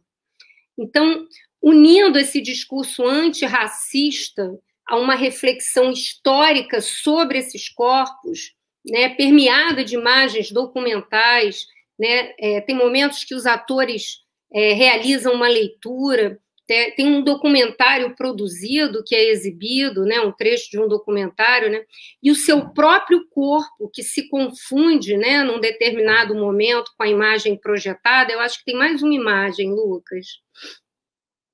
É, é muito interessante como ela se utiliza de todos esses recursos, né, na criação dessa cena entre o autoficcional e o documental, entre o digital e o presencial entre o teatro, a performance e o documentário. Né? Um outro artista que eu pesquiso, cuja obra me interessa muito, é o libanês Rabi Miroué, né, que também se apropria né, da palestra performance, transitando também num lugar que para ele é um lugar de difícil definição. Né? Ele se apresentou, por exemplo, com esse trabalho em teatros, museus, galerias, universidades, espaços muito distintos, né? Com essa obra que é Pixelated Revolution, né? Que eu gostaria de abordar um pouco mais profundamente aqui, é, por tratar de um tema relevante à cena contemporânea, essa cena expandida, que é a relação entre o corpo e a tecnologia. Né? Inicialmente, o Miruê afirma o caráter semidocumental desse trabalho, né? É, depois ele se preocupa um pouco com uma, uma, uma espécie de classificação redutora do gênero, né? alguns chamaram de um teatro documentário. Né? É certo que a gente está diante de uma cena entre também o documentário e a ficção, o teatro digital, a performance e a palestra. Né? O, o Rabi Miroué ele parte de algumas questões norteadoras, né? O que a gente deve esquecer e aí pensando o lugar da memória, né? O que lembrar, né? Com o objetivo de investigar o uso político de imagens documentais e o impacto das imagens na vida das pessoas, né? E refletir sobre essa relação entre memória e esquecimento, memória e também representação da morte, né?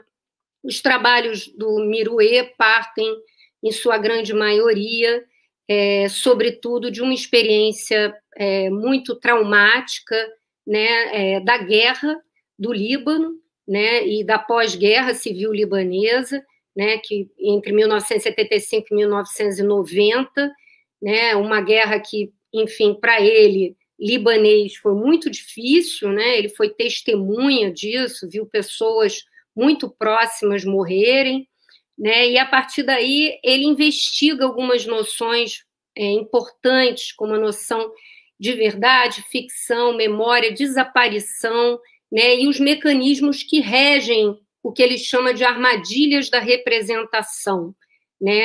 Que hoje instauram, né? É, relações entre os corpos e as imagens, né? As armadilhas para Miruê elas decorrem de dois tipos de imagem. Uma imagem que afirma a presença, ele diz, né? E outra que confirma a ausência, né?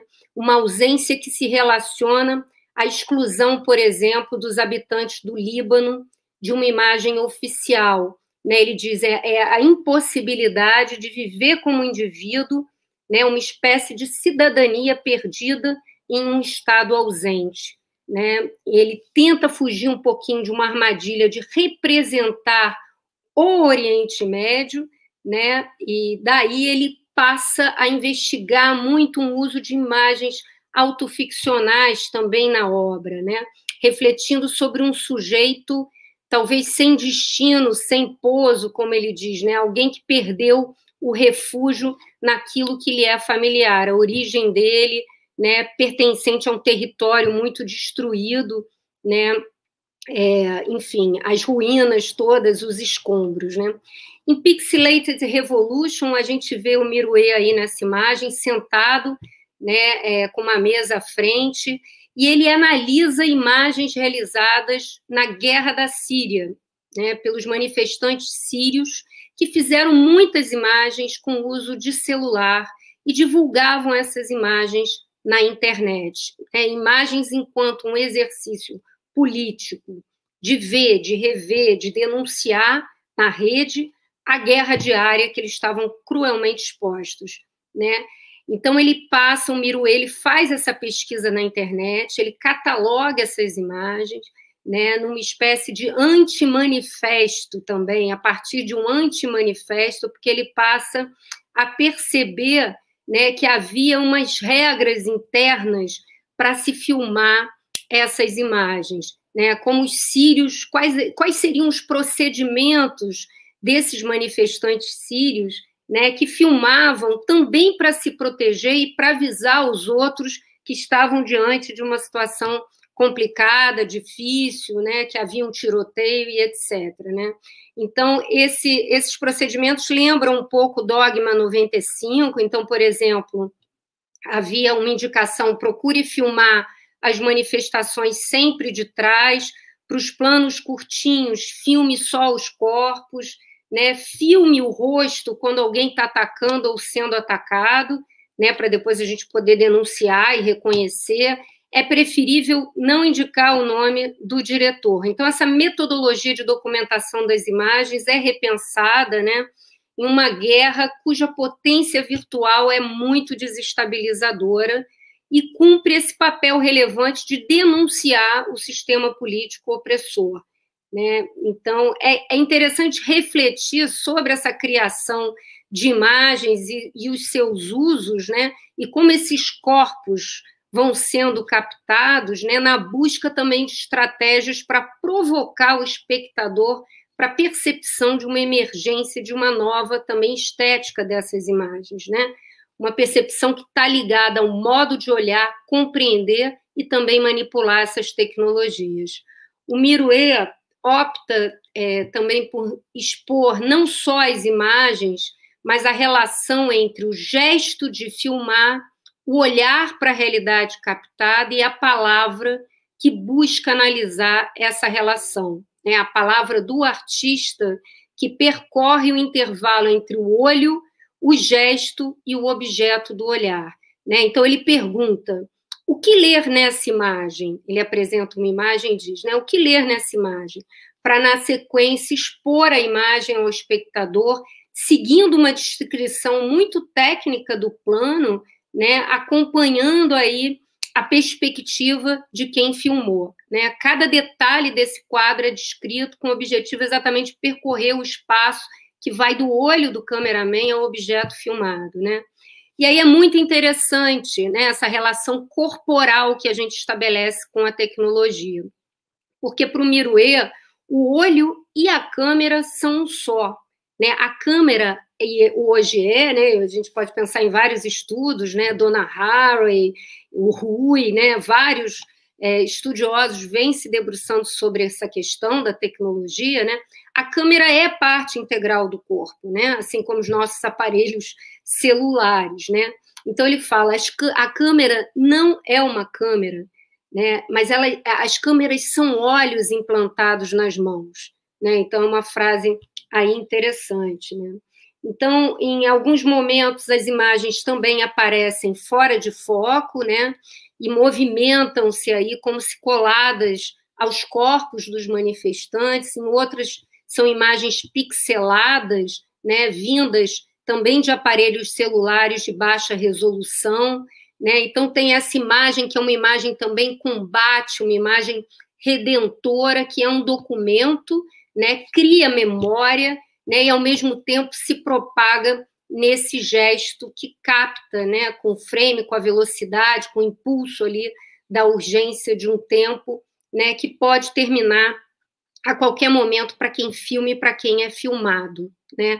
Então, é, eu queria falar de um manifestante que aparece nessa palestra performance do Rabi Miruê, que filmou a própria morte né? E isso é um, um, uma questão aí que interessa a ele. Então, eu vou pedir, Lucas, por gentileza, para você exibir um minutinho e meio de vídeo só, um trechinho para vocês verem desse trabalho, vocês assistirem.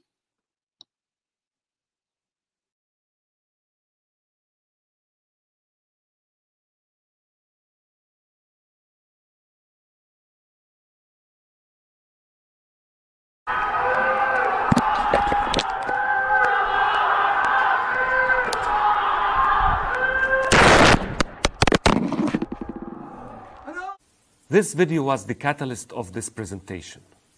Double shooting. One person is shooting with a camera and the other is shooting with a rifle. One shoots for his life and the life of his citizens, and the other shoots for his life and the life of his regime. How can we read this video?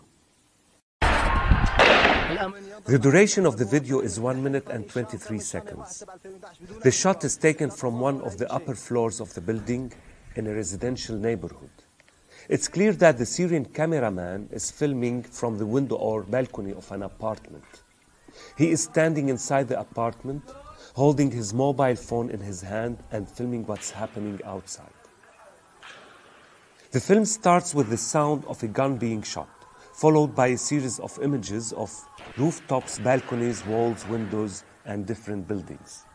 The unseen cameraman makes a fast-paced introduction.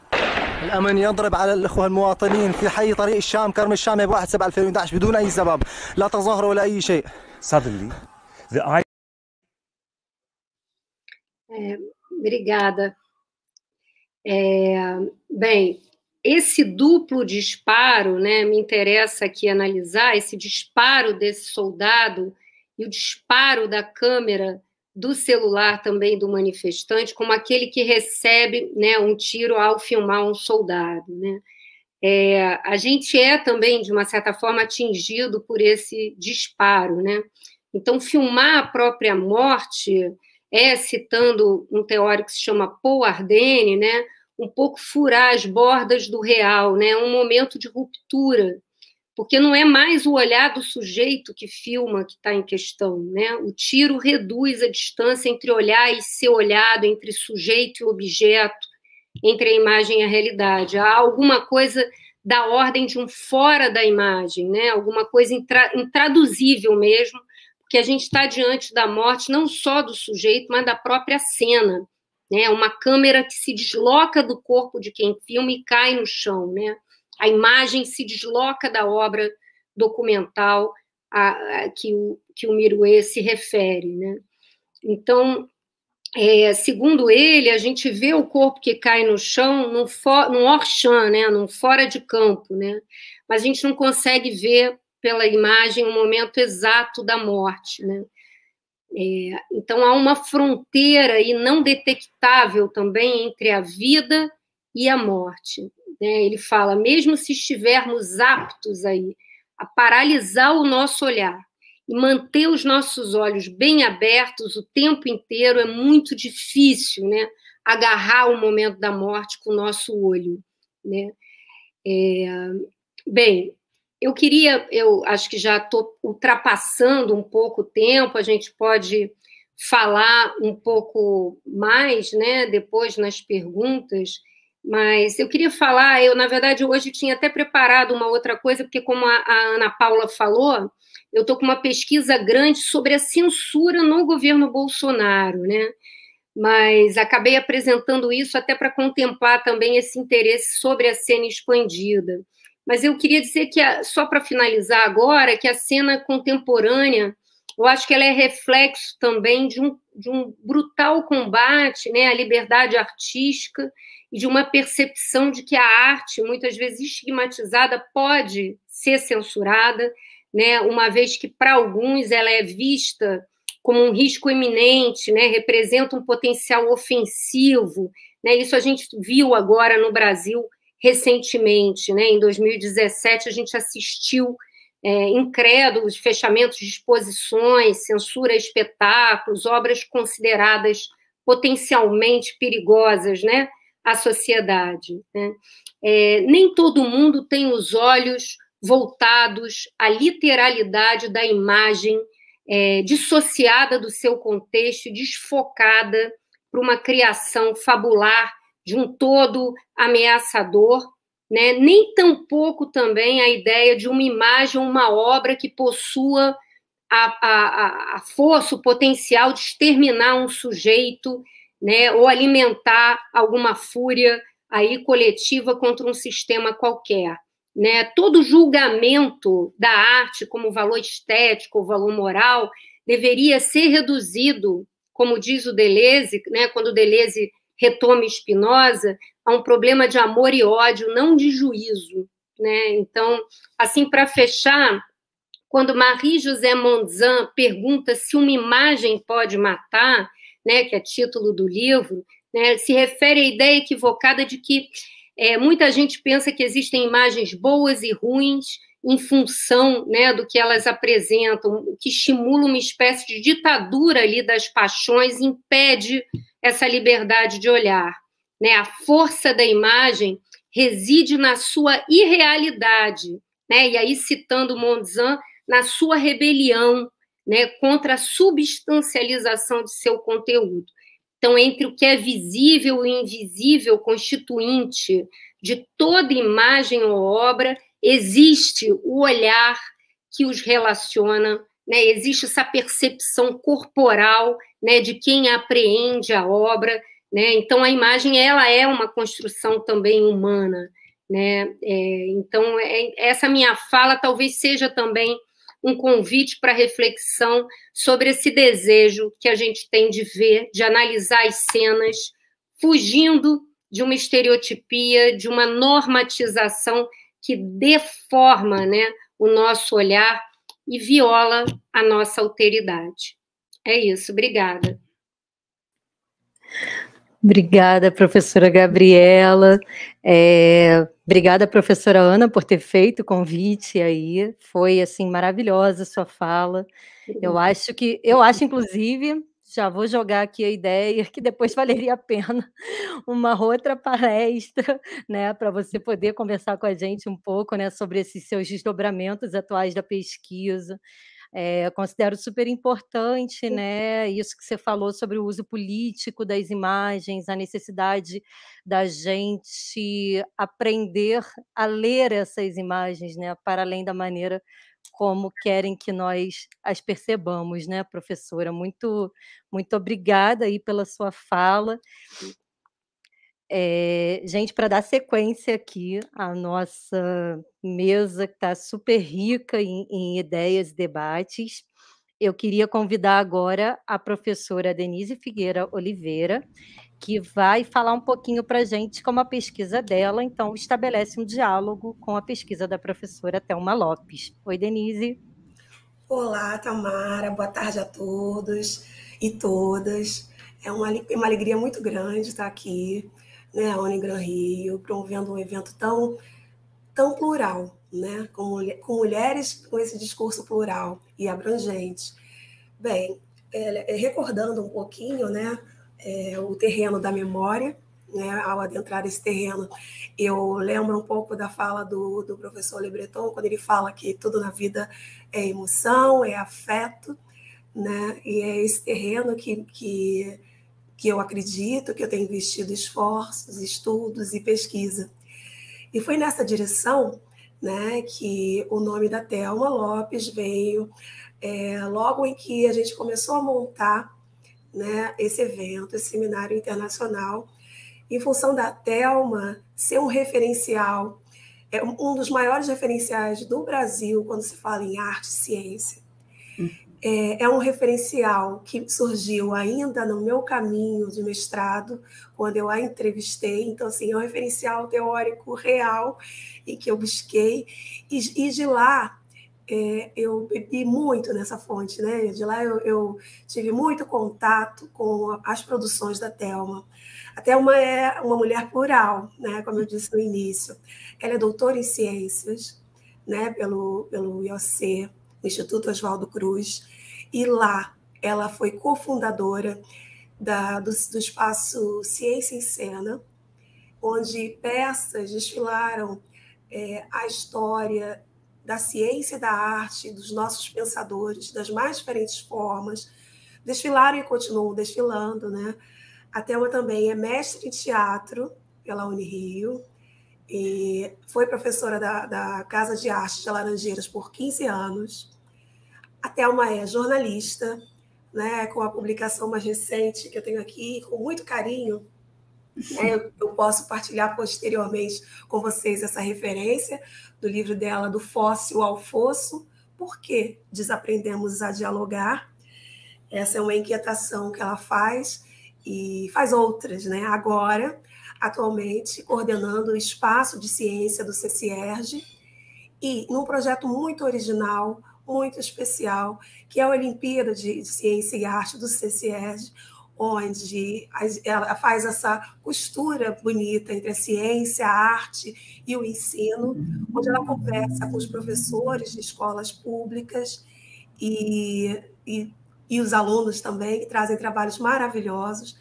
Enfim, é, esse caminho né, de construção das ideias e reflexões que a gente precisa é, partilhar cada vez mais fazer essa, essa comunhão entre a universidade, a escola e a sociedade é um caminho que a Thelma percorre já há algum tempo. Sendo assim, nesse terreno do afeto, da emoção, da uhum. admiração, quero te dar as boas-vindas, Thelma, e a palavra para esses diálogos mais que possíveis, diálogos desejáveis. Seja bem-vinda. Olha, obrigada é, Denise, primeiro por essa apresentação tão afetuosa, tão generosa. Queria agradecer a você especialmente, a toda a comissão organizadora, parabenizar vocês também pela organização, é, pelas palestras aí que antecederam agora a minha fala, e vamos ver se eu consigo manter o nível. Vamos lá, então. Bom, é, a minha ideia aqui não é nem tanto aprofundar conceitos e ideias, mas é apresentar alguns pontos de partida e alguma fonte de inspiração para todos os ouvintes, para todo o público a quem eu quero agradecer também. Então, é, eu gostaria de começar com a minha. Com... Eline, por favor, come, o meu primeiro slide. Um, você pode passar? Isso. Bom, é, é o segundo, na verdade. É, Bom, quando eu vi o título da mesa, né, Arte, Teatro, Corpo e Memória, eu fiquei pensando de que modo eu poderia abordar esses temas. É claro que eu poderia. O que eu teria mais propriedade para falar dentro desse universo seria basicamente do teatro e talvez um pouco da arte em, em é, do teatro como arte, mas dentro desse trabalho que eu tenho feito e que eu tenho buscado é, é fazer, tanto na minha prática, né, na, na, minha vida, quanto na, na minha jornada acadêmica, digamos assim, eu preferi. É, pode passar para o próximo, por favor? O, eu, eu, o que, que eu pensei? De que forma eu poderia unir essas palavras, né? encontrar, dialogar com essas palavras, tanto essas palavras entre si, quanto ao meu percurso acadêmico, né? De que modo eu, dentro da minha formação, dentro da minha trajetória, poderia reunir essas palavras e fazer essas palavras dialogarem. Então, é nesse sentido que eu estou dizendo que a minha ideia aqui é mais ter uma é, é, é, funcionar como uma fonte de inspiração e menos aprofundar essas questões. Entendam essa fala aqui como pontos de partida. A próxima, por favor. Então, dentro dessa ideia, pode passar. É, acho que o, a, a grande, o grande a grande cola, o grande amálgama, né? É que todas essas palavras estão dentro de um grande guarda-chuva que é a cultura. É claro que quando a gente pensa na cultura, existem muitas definições possíveis a partir de diferentes olhares, né, de diferentes campos do conhecimento. Mas aqui eu estou privilegiando, dentro da ideia de cultura, a ideia de cultivar, de, é, de cuidar, de crescer, né, no sentido de prosperar e principalmente na ideia da cultura como uma rede de compartilhamento de símbolos e significados de múltiplos campos que interagem mutuamente. Então, nesse sentido, a arte, o teatro, o corpo e a memória, esses assuntos se entrelaçam, né, se comunicam entre si, é, numa via de mão dupla, e todos eles né, estão dentro dessa, dessa ideia é, da cultura. Né? O próximo, por favor. Então, é, dentro dessa é, intenção de fazer dialogar diferentes campos do conhecimento em interação com o meu percurso acadêmico, a primeira relação que eu proponho aqui é entre arte e ciência. E aí, é, é pode passar para o próximo, por favor. É, é, pensar dentro da sociedade, né, da nossa sociedade atual, que é uma sociedade cujo paradigma é científico, é, que, que lugar essas, esses campos do conhecimento é, ocupam. É claro que a gente precisa pensar aqui que tudo que eu vou dizer é algo em, é, em plena transformação, em construção, ressignificação, mas de alguma maneira a gente pode dizer né, que as artes elas costumam ser vistas como supérfluas, como dispensáveis, são apreciadas, mas não necessariamente compreendidas como vitais principalmente em áreas de fragilidade social. Né? Quanto menos a gente tem o básico, mais a gente não tem o que pode parecer, aí com mil aspas, supérfluo. Né? De, isso eu estou falando de, uma, de um olhar mais é, também estereotipado para a arte, né? porque a arte ela é alimento, ela é gênero de primeira necessidade, mas de uma forma geral, e se a gente pensa até no nosso contexto né, é, contemporâneo, a gente é, consegue perceber essa visão né, é, da arte como algo supérfluo, dispensável. É, a gente liga muito a arte à emoção, a algo que é ametódico, né, que prescinde de uma metodologia, de uma maneira é, de, de, procedimentos, né, de protocolos. Né? Então, a gente tem, tem um pouco essa, pode ter um pouco essa visão. As ciências, é, por outro lado, né, sobretudo quando associadas à produção tecnológica, porque nem toda tecnologia ela é resultado de pesquisa científica, mas em grande parte é sim, isso procede, elas são vistas como imprescindíveis. Né? Quando elas são aplicadas ao campo da saúde, elas reforçam o seu caráter essencial, uma vez que evidenciam funções ligadas à manutenção da vida. Né? É claro que é, é, a ciência ela tem uma concretude, né? a sua função ela é muitas vezes mais clara, muito mais palpável, muito mais mensurável do que todo os todos os benefícios que a arte pode trazer, né? E são vistas em geral como objetivas e racionais. E aí, sempre lembrando né, que, em geral, também há, é, quando a gente fala de ciências, é, a gente já pensa logo nas ciências ditas mais duras, né? a física, a química, talvez a biologia, mas tem a história, a antropologia, é, várias outras ciências que são muito é, menos, que, é, que dependem de uma subjetividade muito maior. Né? E é, coisas para a gente pensar, apesar de vivermos, né, nós vivemos num, num, né, numa sociedade cujo paradigma é o, o científico, mas é, mesmo considerando, né, são questões que eu estou colocando aqui em plano de análise, mesmo considerando o desapreço à produção do conhecimento como um todo, que é algo que vivemos aqui no Brasil, infelizmente, e esperamos mudar, né, se assim pudermos, desejamos muito, é, ainda com esse desapreço, né, com todos os questionamentos, a Terra é plana, não é? enfim, com questões que não, não fazem o menor sentido, o cientificamente comprovado ele é ainda uma chancela muito forte e que tem, né, ele, tem também funções que vão além da própria ciência, né? Mas é, o cientificamente comprovado também tem um valor mercadológico, ele tem um, um, um valor de mercado mesmo. Né? Você vai, o shampoo cientificamente comprovado, o DNA, enfim, é, tem todo um léxico da ciência que é usado também para chancelar uma, uma relação que é comercial. E quando a gente pensa na pandemia, né, que ela ela resgata parte do prestígio da ciência. Ora, né, o Brasil, o mundo, mas eu estou falando especificamente no Brasil, sabemos que não é para amadores, né?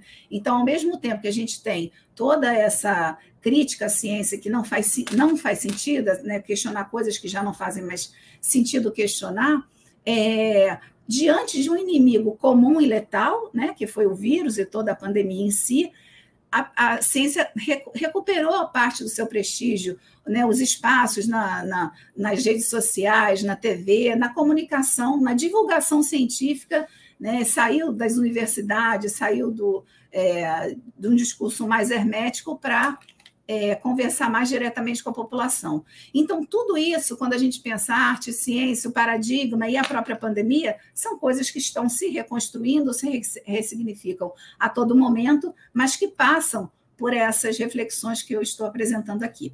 A próxima, por favor. É, e dentro dessa ideia né, das compreensões que são equivocadas e estereotipadas, quando você quer pensar nesses dois campos em interação, é, é pensar que há muitas nuances e deformações a serem corrigidas e postas em relação a múltiplos variantes. Né? Não se trata de uma tarefa simples e exige principalmente a consciência da complexidade que envolve a interação entre esses temas. Né?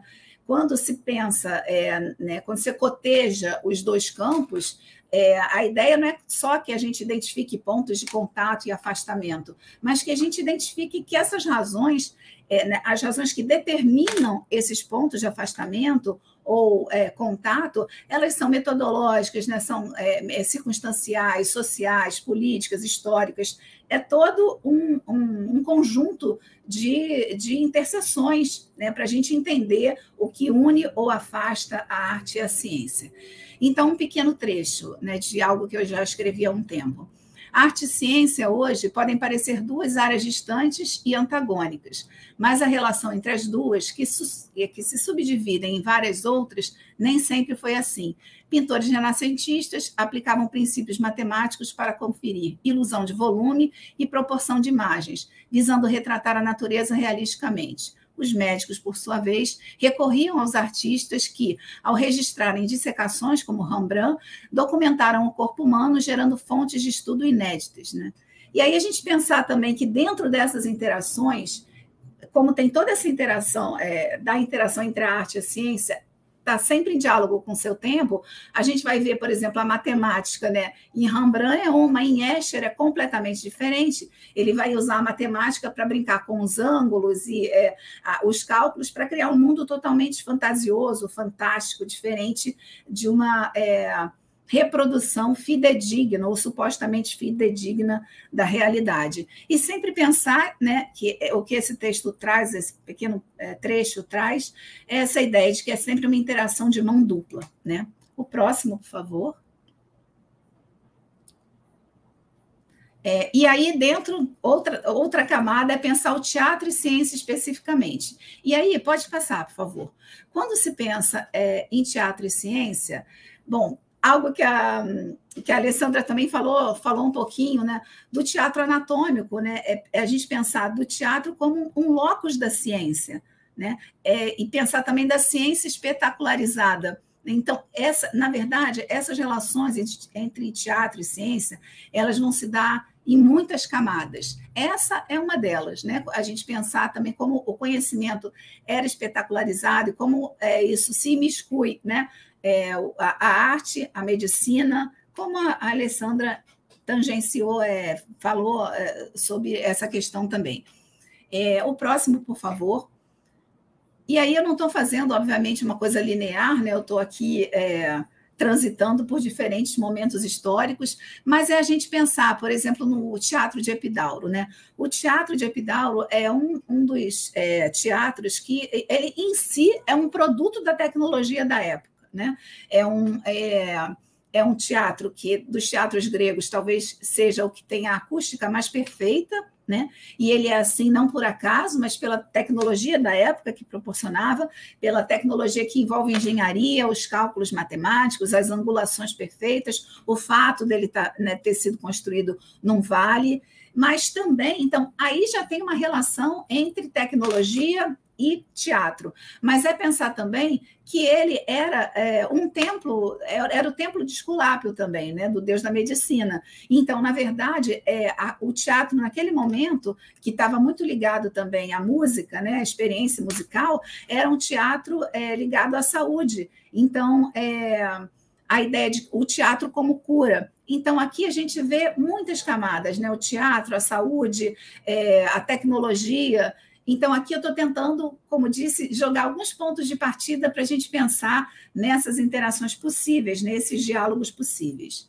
O próximo, por favor. É, aqui é só para a gente ter uma noção né, do, do, teatro repleto, pleno, né, para ter ideia de como, de fato, ele é enorme, né, e como uma acústica que realmente você deixa cair algo no centro da, né, do, do palco ali, você consegue ouvir lá na última arquibancada, então é realmente uma coisa muito é, majestosa para a época e muito tecnológica, né, naquele período. A próxima, o próximo, por favor. Então, é, isso, aí a gente dando outro pulo aí, né, enorme, é, dentro dessa relação a gente pode ter também a ciência como tema do teatro. E aí, nesse sentido, há três, três peças emblemáticas que não podem deixar de ser citadas, né? que é a vida de Galileu, os físicos e o caso Oppenheim. Os três né, tratam de uma forma diferenciada sobre. É, giram em torno da repercussão da bomba atômica e da nova responsabilidade do cientista diante da sociedade. É claro que a gente tem que pensar também que muitas vezes a ciência é usada como metáfora para falar sobre outras coisas.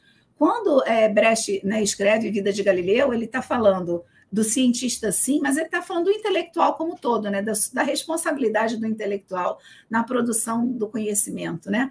E na, e na, na preocupação em comunicar o seu conhecimento. Então, é, mas quando a gente traz aqui a ciência como tema, essas três peças elas são muito importantes e giram, não por acaso giram em torno da repercussão da bomba atômica, porque isso coloca em xeque a ideia de que a ciência, a princípio, só traria benefícios, né? A bomba atômica é um malefício muito óbvio, né? E muito potente, né? É, que não se pode negar. É, o próximo, por favor. É, então, a, a, ciência como tema. Mas, quando a gente vai pensar é, nessa, nessa interseção dentro do teatro, Brecht é uma figura-chave nessas reflexões né, que são traçadas entre o teatro, a educação e a relação com as ciências. E aí a grande diferença é que Brecht ele não vai trazer a ciência apenas como tema, mas também como método teatral. Ele vai buscar alguns aspectos da metodologia científica para trazer ao seu método teatral. E há uma relação muito, é, é, muito próxima entre o Brecht e o Galileu, né? Não apenas o Galileu que ele vai fazer personagem, mas a, a, a própria personalidade, o temperamento do cientista e a ciência que o Galileu traz, né? Porque a ciência que o Galileu traz é uma ciência né, a chamada ciência moderna, né, é um dos pais da, da revolução científica, é uma ciência que essa ciência é que é, é, interessa a Brecht. Por quê? Porque, falando de uma maneira também muito é, esquemática, quando a gente pensa a ciência, né, antes da ciência nova, é uma ciência que se baseia basicamente na observação e no registro dessa observação. A grande revolução científica é criar mecanismos de testagem para aquilo que é observado. Então, Galileu observa a natureza, mas cria mecanismos de testagem para ver se aquilo que se observa é de fato o que acontece. E como ele faz isso? Né? Introduzindo a matematização, né, os cálculos matemáticos, e uh, colocando a utilização de instrumentos. Por exemplo, o telescópio, que não foi ele que inventou, mas foi ele que aprimorou. Né? O, telescópio é uma, o telescópio é uma invenção do Hans Lippershey, um holandês, mas é ele que dá esse uso científico, digamos assim, ao, ao telescópio. E é essa ciência que questiona o que está sendo, o que está à nossa volta, ou seja, que duvida do que está à nossa volta, é a ciência que interessa a Brecht, né? E esse diálogo entre os dois acontece durante a vida toda do Brecht. Então, quando a gente pensa no teatro e ciência, não há como não é, discutir o, né, dentro da teoria o que Brecht traz. O próximo, por favor. É, e aí, essa ideia da ciência como método é, teatral. E aí, é, é, isso que eu acabei de falar, né? A oposição a, a, uma observação associada à experimentação, tal qual no método é, de Galileu, né? E aí uma oposição é, comum a Aristóteles, né? E aí é, é importante a gente falar, Aristóteles é, foi um dos maiores polígrafos, né? escreveu sobre muitas coisas. Né? O que a gente sabe da, da herança grega nos chega né? a partir de Aristóteles. Né? É, e, mas, e ele representou muitos avanços, mas no campo da astronomia, especialmente, é, o Aristóteles trouxe muitos, muitos equívocos, né? É, e essa a, oposição de Galileu a Aristóteles se dá muito em relação, obviamente, à astronomia. E o Brecht também vai chamar o seu teatro de anti-aristotélico, né? Lembrando que não existe um teatro de Aristóteles, mas um teatro que Aristóteles sistematizou na sua poética, né? A comédia e a tragédia gregas. Então há esse ponto em comum. E há uma outra coisa que é muito bonita também, que é, isso não é uma ilação, é o próprio Galileu que, o Galileu, o próprio Brecht que fala, né, que ele se inspirou, né, né, quando ele foi fazer sua poética, né, a compra do latão, ele se inspirou nos diálogos concernentes aos dois principais sistemas do mundo, que foi escrito né, pelo Galileu Galilei, porque o Galileu Galileu, Galileu Galilei quando quis né, é, registrar o, o, sistema, é, a sua teoria né, de que a Terra não era o centro do universo, né, indo ao encontro do Copérnico, ele não escreveu em latim e ele escreveu em italiano e em diálogos. Né? E ele criou uma estrutura ficcional com personagens para conversar entre si. Né? É, essa jornada durava algumas noites e o, o, Brecht ele fala textualmente que se inspira, quando ele vai escrever sua própria poética, se inspira nessa nesse formato também das noites conversadas e com personagens específicos para falar sobre sua teoria. Então, existem todas essas camadas aí de relação entre Galileu e Brecht, né? É, fora que o, Brecht escreveu e reescreveu essa peça ao longo de toda a sua vida. Né? Existem três versões completas né, é, de Vida de Galileu, e ele teve, manteve esse diálogo com ele a, a vida toda. Vamos passar para o próximo, que eu estou tentando aqui cronometrar meu tempo para não passar muito. Nesta interação entre teatro e ciência, algumas questões se colocam em plano de análise.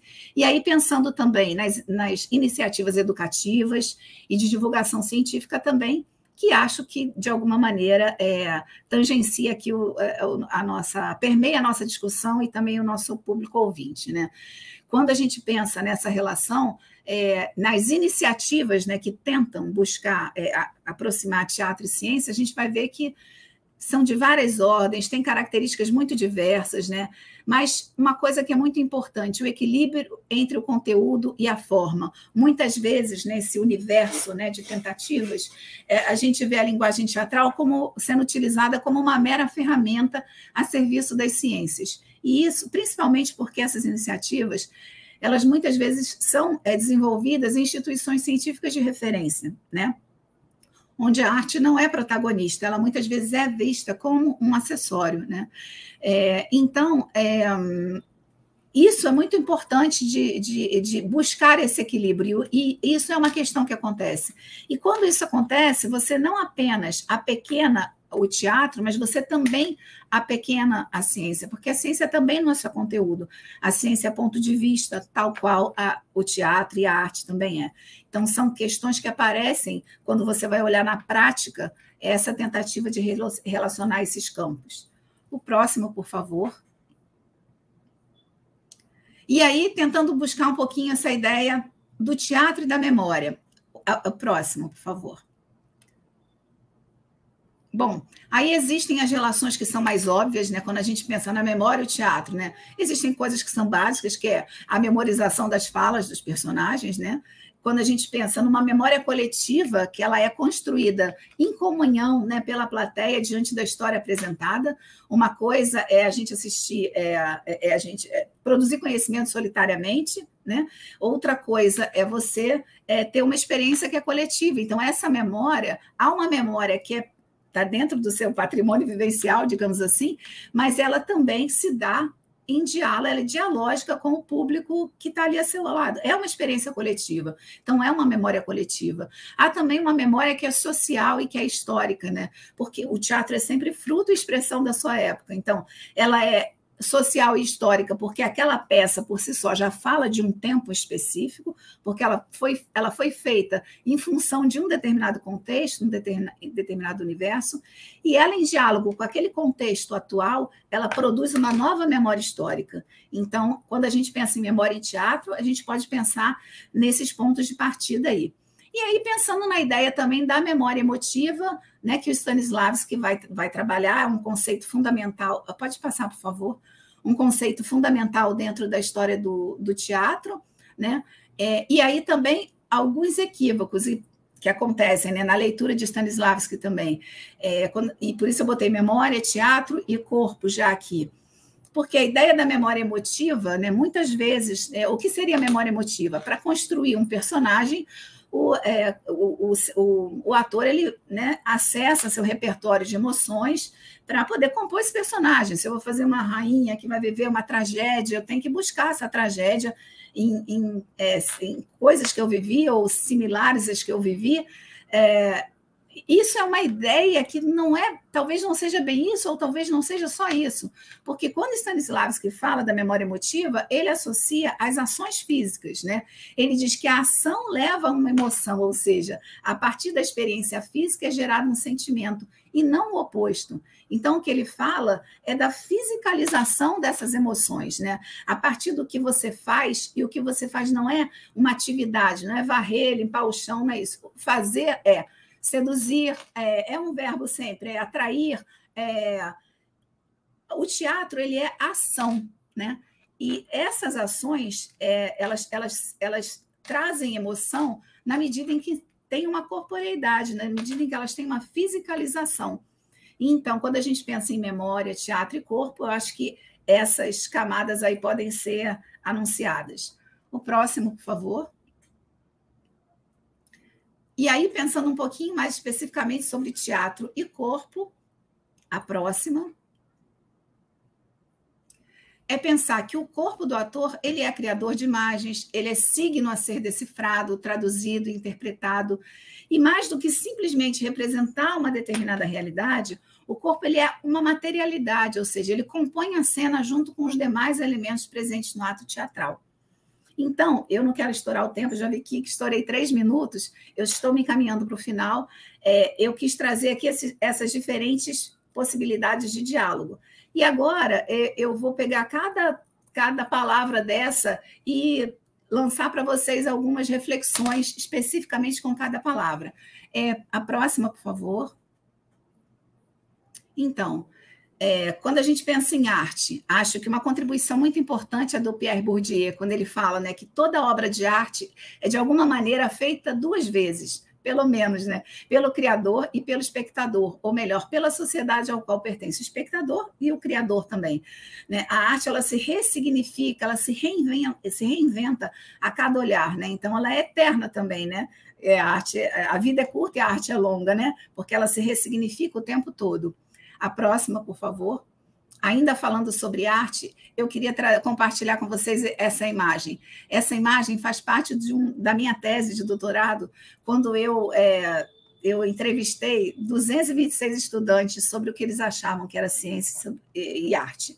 E eu, ao perguntar, né, né, havia um formulário para eles preencherem, ao perguntar o que é, eles podiam desenhar um artista, é, um menino me desenhou isso, esse desenho sem cabeça. E quando eu vi o desenho, a minha interpretação como pesquisadora foi: ah, é, eu acho que ele está dizendo que está é, é, tá dentro desse estereótipo, né, de que a arte é uma coisa metódica, que não precisa de raciocínio, não tem nem cabeça ali, não, não precisa, não há nada racional, é só é, uma coisa que está ali no corpo, mas a cabeça não está ali. Foi a primeira leitura que eu fiz, né? Mas quando eu fui ler o que o menino escreveu, e vamos, vamos aqui deixar claro que esse menino tinha 12 anos, é, pode passar o próximo, por favor. Ele me disse: um artista é alguém que se desloca, que sai do lugar para se libertar, que faz tudo o que pode para abrir o espírito. Né? Quer dizer, e também aí vai uma questão assim, de nós, como pesquisadores mesmo, né? Muitas vezes estamos muito aquém do nosso entrevistado. No caso, era isso. Né? Eu, se eu visse só o desenho, foi essa é, interpretação que eu fiz mas ele me deu essa outra informação. E eu acho que é muito bonita essa, essa definição, essa reflexão dele sobre arte, né? De como a gente tem que é, sair de si para entrar em si e, e, e, dialogar com, com o outro, né? com o coletivo. O próximo, por favor. É, quando a gente pensa que ainda na arte, né? Saiba que os poetas, como os cegos, podem ver na escuridão essa ideia, é, essa potência da arte que ela pode responder nossas perguntas originais, né? De onde, de onde viemos, para onde vamos, quem somos. A arte, na sua liberdade poética, ela nos responde algo que a ciência ainda não respondeu. Então, talvez não responda, ou responda há muito tempo, é, há muito, né, muito tempo depois. Talvez a gente não, não, não consiga saber dessa resposta da ciência. Então, essa é uma potência muito, é, muito viva na arte. Eu, acho, eu achei que era importante é, ressaltar dentro dessa palavra, dentro dessa ideia. O próximo, por favor. E aí, é, dentro no teatro, eu, eu achei que podia trazer essa palavra do Brecht, né, essa frase, quando ele fala, né, ele coloca isso na boca do Galileu: pensar é um dos maiores prazeres da raça humana. E quando ele fala pensar, é pensar com todo o corpo, né? Pensar inteiro. E aí esse dilema, né, que ele, ele, ele teve quando ele falou uh, o Brecht falando, né? Ele fala que fazia um teatro para é, uma era científica, e ele dizia, né? Primeiro ele dizia, não, o teatro não é entretenimento, o teatro é conhecimento. E depois ele vai dizer, não, é, o, o, entretenimento do homem contemporâneo, do homem científico, é o conhecimento. Então, essa ideia de que o aprendizado, o conhecimento, ele é prazeroso, né? e ele se dá. O, existe uma alegria em aprender, e essa alegria, é, ela está no teatro, e esse é, é, esse é o papel do teatro também. Né? Não necessariamente ensinar, mas tornar alegre o aprendizado, ainda que seja um aprendizado de coisas trágicas, tristes, mas conhecer algo a mais, né? Isso é sempre feliz, né? É, o próximo, por favor. E aí, quando a gente pensa em corpo, lembrei da Angel Viana dizendo, dizendo né, que, né, que é uma precursora do, da conscientização corporal no Brasil, né, dessa consciência que a gente tem que ter com o corpo, é, não só os artistas, mas nós, né, como cidadãos. E ela diz: o que mais gosta de gente, e gente é como nuvem, sempre se transforma essa ideia, né, que a gente não pode se congelar, que a gente tem que se transformar o tempo inteiro, e o, o corpo nos dá essa potência também, né? A próxima, a próxima, por favor. Eu já estou acabando, gente. É, quando ela fala também, Angel, né? Sem humanismo não existe arte. A arte se identifica e se articula com a vida. É preciso revelar a dança de cada um. Isso é muito lindo, né? Porque essa ideia também né, dessa é, esse autoritarismo do corpo perfeito, da, de que a gente tem que estar tá tão padronizado. Não, cada um tem o seu caminho, cada um tem sua dança, seu ritmo, sua forma de se expressar. Bonito também que ela não fala é, é, em ser humano, né? Porque o, o ser, quando a gente fala ser humano, ser humano pode ser muito cruel também, né? Pode ser tanta coisa que não é boa, né?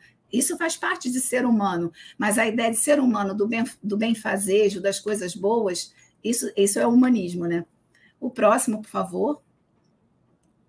É, e aí, para finalizar, quando a gente fala de, da memória, eu lembrei de duas coisas, né? Desse conto do Borges, né? Que Funes, o Memorioso, onde é um homem que ele não consegue esquecer de nada, então tudo que ele vê durante o dia inteiro vai acumulando aquela memória, acumulando, acumulando.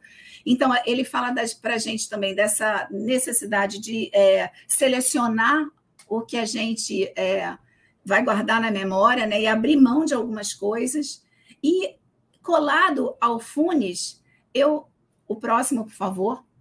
Eu acho que quando a gente pensa em memória, a gente pensa também dentro da ciência, da arte, a gente pensa em Proust, né? O que, que o Proust vai falar, né? bom, só se vive plenamente na memória, né? porque ele vai contar aquela história da Madeleine, que ele, né, do cheiro, né, de como o cheiro daquele bolinho faz ele resgatar toda a infância.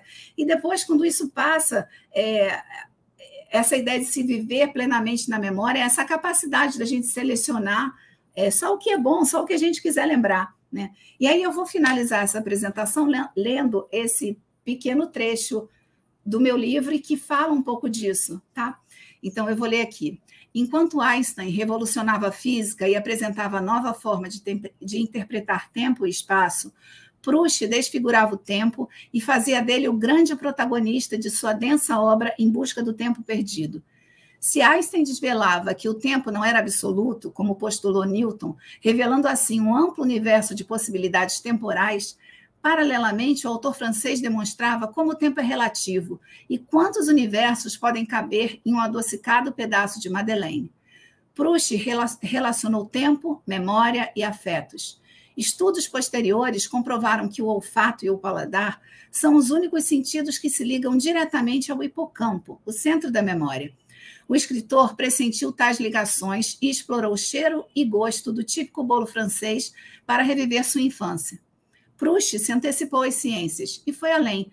Ao falar de uma memória na qual selecionamos aquilo que gostaríamos de recordar para embelezar nossas lembranças, o autor sublinha a importância do esquecimento. Daí a ideia prustiana de que só se vive plenamente na memória. Não fosse a capacidade de esquecer, como poderíamos seguir adiante depois que um grande amor se vai? Como ser feliz sem saber esquecer as dores do corpo e da alma? Manter a memória viva é tão importante quanto saber esquecer. Isso também nos diz. Então, dessa forma, eu termino a minha, a minha fala, tentando aí fazer dialogar essas quatro palavras tão importantes. Então, tem um último slide para vocês. É, é um slide de convite também, tem aí meu, meu contato. E o evento que a gente vem fazendo nessa ideia de dialogar diferentes campos do conhecimento, que acontece aí nessa quarta-feira, 28 às 19 horas. Muito obrigada pelo convite e por, enfim, todos terem ouvido aí. Obrigada.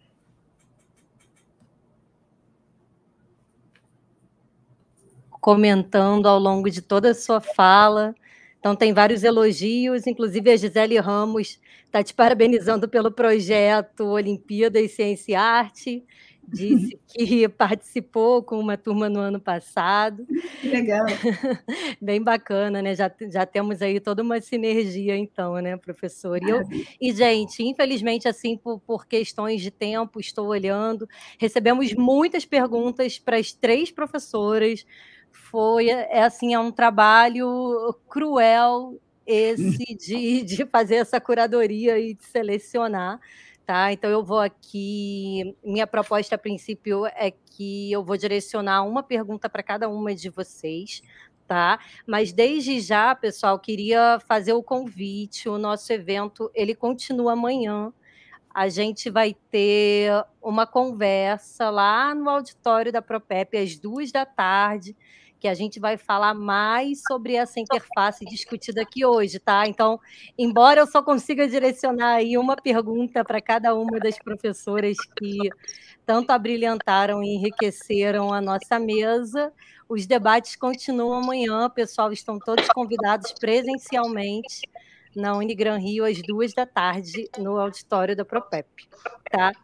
Eu vou começar, pessoal, se vocês me permitem, do do fim para o início.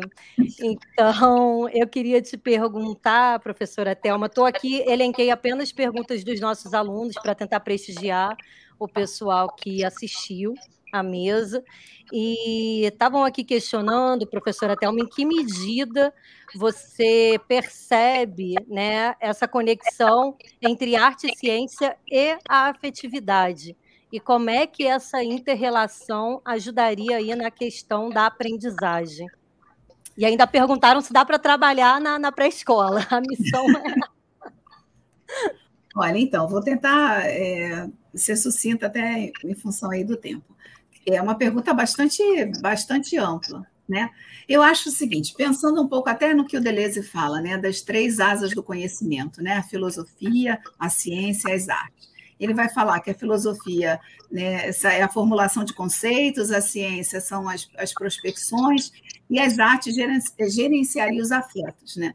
Eu acho que a arte não pode ser reduzida a quando a gente pensa né, nessa relação, quando a gente quer juntar esses campos do conhecimento, a gente não pode pensar que a arte ela está ali só no papel de sensibilizar, é, de, é, de tornar aquele conteúdo mais palatável, de facilitar é, é, as mensagens, a construção do conhecimento, ela não pode ser reduzida a isso, mas ela é uma grande potência para isso também.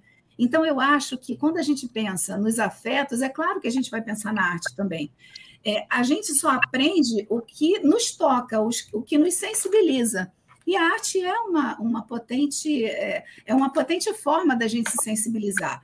Então, é, eu acho que essa, né, nessa trinca, digamos assim, é, não podemos prescindir da arte, porque elas, de fato, nos ajudam a, a, a, a ser tocados. Né? Essa palavra afeto também ela não, não vem do nada. Afeto é de ser afetado, de ser tocado. Né? Então, eu acho que é, eu acredito muito nessa ideia mas desde que, né, de juntar arte, ciência, arte, ciência, educação, mas desde que a gente não apequene nenhum desses, desse, desses campos do conhecimento, que a gente sempre deixe claro né, nas nossas ações, que a arte também é uma forma de antever, de inscrever, de prever, né, de, é, de construção de conhecimento.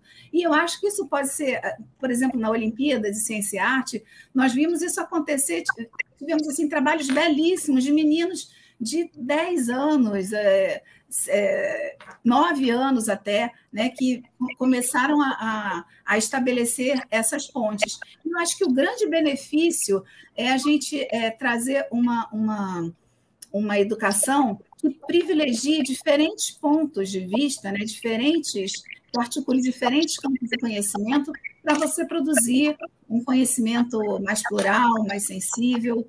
Então, eu acho que Tentando responder rápido, eu acho que eu diria isso. Obrigada, professora.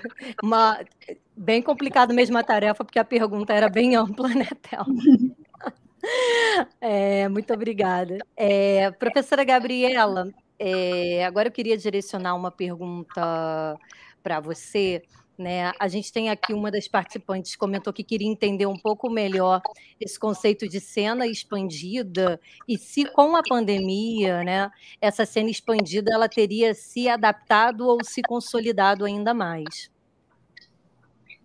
É, esse conceito de, de cena expandida ele está no campo das artes visuais também, na literatura, né? Há uma autora, Florência Garramunho,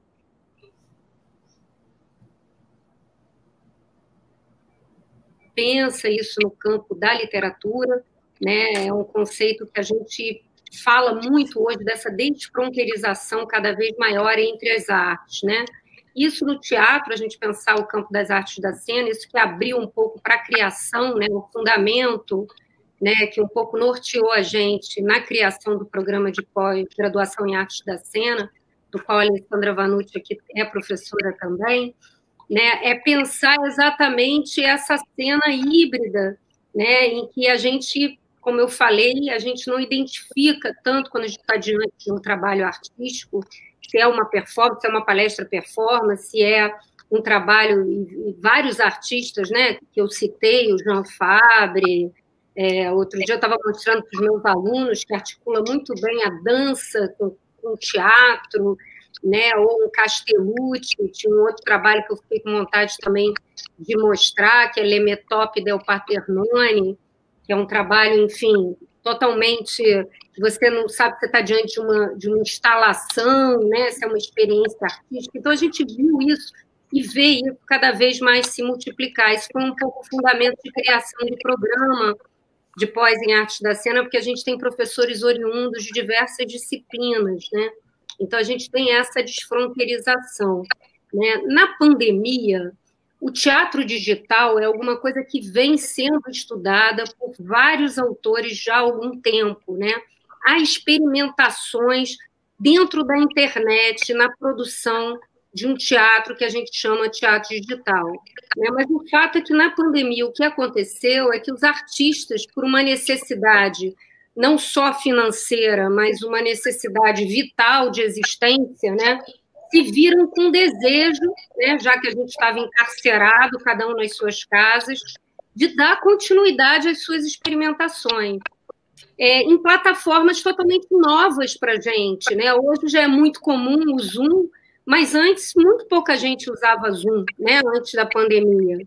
Então, eu acho que a gente descobriu muito essa relação entre o digital, né, uma teatralidade muito presente, né, assim como eu falei da performatividade no sentido dessas experiências que foram ao vivo, né, porque aí você tem todo um acaso aí acontecendo, por exemplo, grupos sátiros que já vinha experimentando, né, essa linguagem digital, um teatro mais digital em São Paulo, na pandemia investiga isso com Zoom. Um dos espetáculos que eu via, que é a arte de encarar o medo, por exemplo, uma falha de uma atriz, né? O, o, o barulho do chuveiro não entrou. A gente tem uma outra relação que é mais ou menos o que acontece no teatro, né? Porque como é ao vivo a experiência do teatro, tudo pode acontecer, né? Então, nesse sentido, essa performatividade é muito interessante da gente ver como é que a gente se apropriou dela na pandemia, né? E, enfim, eu acho que a gente se aprofundou sim nessas cenas da pandemia, nesse lugar muito híbrido, né? Ao mesmo tempo, uma referência cinematográfica muito forte, porque a gente perde a profundidade, né? Vocês não têm ideia aqui da minha estante, né? Até que ponto eu estou perto ou longe, né? Essa presença que é uma presença virtual desse corpo, né? Então, ao mesmo tempo, essas referências cinematográficas são importantes, né? A Alessandra, eu até analisei um espetáculo da Alessandra Vanucci, dirigido pela Alessandra, que é a Descoberta das Américas, com Júlia Adrião, que ela fez uma experimentação também num espaço, ela adotou não um espaço da casa, que foi um espaço adotado por várias pessoas e diretores né, na pandemia, mas um espaço de um teatro, né, e ela pensou essa relação do plano, né, então o a parte, né, como close, né, ela pensou, enfim, essas linhas também de aproximação, de relação com o espectador, nessa adaptação a partir de uma linguagem que é a linguagem também híbrida entre a internet, né, entre a experiência audiovisual né, e, e a experiência teatral, essa que, que acontece ao vivo. Então, enfim, só para também não me alongar muito, sem dúvida, é, eu acho que essa pesquisa de muitos artistas na internet, nessas cenas da pandemia, elas começam, isso eu já estou vendo que eu estou pesquisando, a serem apropriadas, sobretudo o uso do audiovisual de algumas experimentações para a cena presencial. Porque muita gente agora está pensando o desdobramento disso nesse retorno ao presencial, que a gente fica feliz que estamos retomando aí a nossa vida no teatro presencial também. Né? É isso. Obrigada. Obrigada, professora Gabriela. É, é, um grupo de muita potência, né? Uma felicidade estar numa mesa aqui com, com mulheres tão potentes, gente. Só gratidão. Vou direcionar agora eu estou aqui a louca do tempo, não, não gosto desse papel, gente, me perdoem. Vou direcionar agora a última pergunta, então, à professora Alessandra. Professora, um, um participante aqui nosso pediu para que você comentasse um pouco mais, eu acho que foi no momento ali mais final da, da sua fala, sobre essa relação né, entre quem produz arte e o público, e como essa relação teria ali é, a questão da empatia envolvida, mas como isso pode ser é, reconfigurado para uma relação ali de, de consumidor-consumo, né, e de subverter um pouco aí essa experiência estética. É, também, assim, eu agradeço demais as respostas anteriores que conseguiram minhas, minhas amigas e colegas serem, ao mesmo tempo, amplas, sucintas e pessoais. Então, agradeço o fato de ter conseguido isso. Não sei se eu vou conseguir também. É, aí, por instinto, eu vou numa resposta possível, aqui no tempo perma que permanece, né, que, que, que que eu tenho, e que é a, assim, a, a, a questão assim do, de, do que, que serviria né, em relação à espécie, né, e portanto ao público também, né, para que, que serviria, para que esse uso, né, o que justificaria o desenvolvimento é, da capacidade emulativa, eu chamei mimética, que gerou a empatia, né? Para que, que serve isso? Por que, que o ser humano inventou a arte, né? Essa é uma pergunta que o Boal se faz muito, né? porque é um fato que o ser humano inventou, entre outras catástrofes e violências extremas, inventou algo extraordinário, que é a arte, né? que não é, a princípio, justificada por nenhuma utilidade é, de uma, uma parte ou outra do corpo desejando, exigindo né, o exercício da arte. Né? A gente situa o exercício da arte num ambiente de necessidade, de, de, de indispensável, mas não necessário. E aí, uma ideia que eu tive, que é sustentada por alguma bibliografia mais recente, que eu agora vou oferecer, tendo que escolher entre mil outras respostas possíveis, é que o cérebro humano não distingue entre ficção e realidade. Então você leva a sério a experiência, mesmo que você, mesmo que seja ficcional, né? Tem aquela frase famosa, né? Esta frase é falsa. Então, o ser humano funciona igualmente é, num ambiente ficcional. Isso, para mim, é uma resposta possível, ou seja, é, aprendemos a serem outros e outras, a ter experiências que não, nunca vivemos, mesmo pelo consumo de artes miméticas, como a literatura e as artes expandidas. Isso quer dizer que, nesse sentido, a espécie acumulou uma vantagem, a extravagante vantagem de ter mais experiência sendo leitores e consumidores de arte do que não sendo. Isso é algo que contraria, né? A, eu, eu, eu quero assim é, citar a Thelma, teve muitas coisas também em comum, né, entre nossas duas falas, os estereótipos sobre a arte, né? Que a arte ela por exemplo, quem, quem eu, eu já sofri diversas é, diversas discriminações no sentido assim, a pessoa me perguntar, o que, que você faz? Eu dizer, ah, eu sou diretor de teatro. Não, mas de trabalho mesmo, você faz o quê mesmo? Ou então, por exemplo, assim, eu estudar latim e grego na escola, as pessoas me perguntam, mas isso serve para quê, pelo amor de Deus? Então, isso é muito útil, na verdade, porque quanto mais a gente for ler e consumir artes, a princípio, segundo essa minha resposta agora de hoje, a gente conseguiria acessar experiências uh, de outras vidas, de outros modos de vida, de outras existências, de outras temporalidades, inclusive, que uhum. nunca acessaríamos é, na nossa vida individual e subjetiva. Isso quer dizer que também a subjetividade, né, Gabi, é expandida através da arte, no sentido da gente acumular é, um, um, um, um, gabarito né, de, de, capacidade de enfrentar experiências que nunca vivemos. Isso, dentro do contexto darwinista, e vou fechar por aqui, é uma vantagem excepcional, porque a gente se torna apto né, a enfrentar situações. Eu acho que neste momento, no qual é, a crise climática né, e as mudanças né, são evidentes né, no que está acontecendo, não sobra muito tempo né, para se adaptar a novas condições de vida, me parece que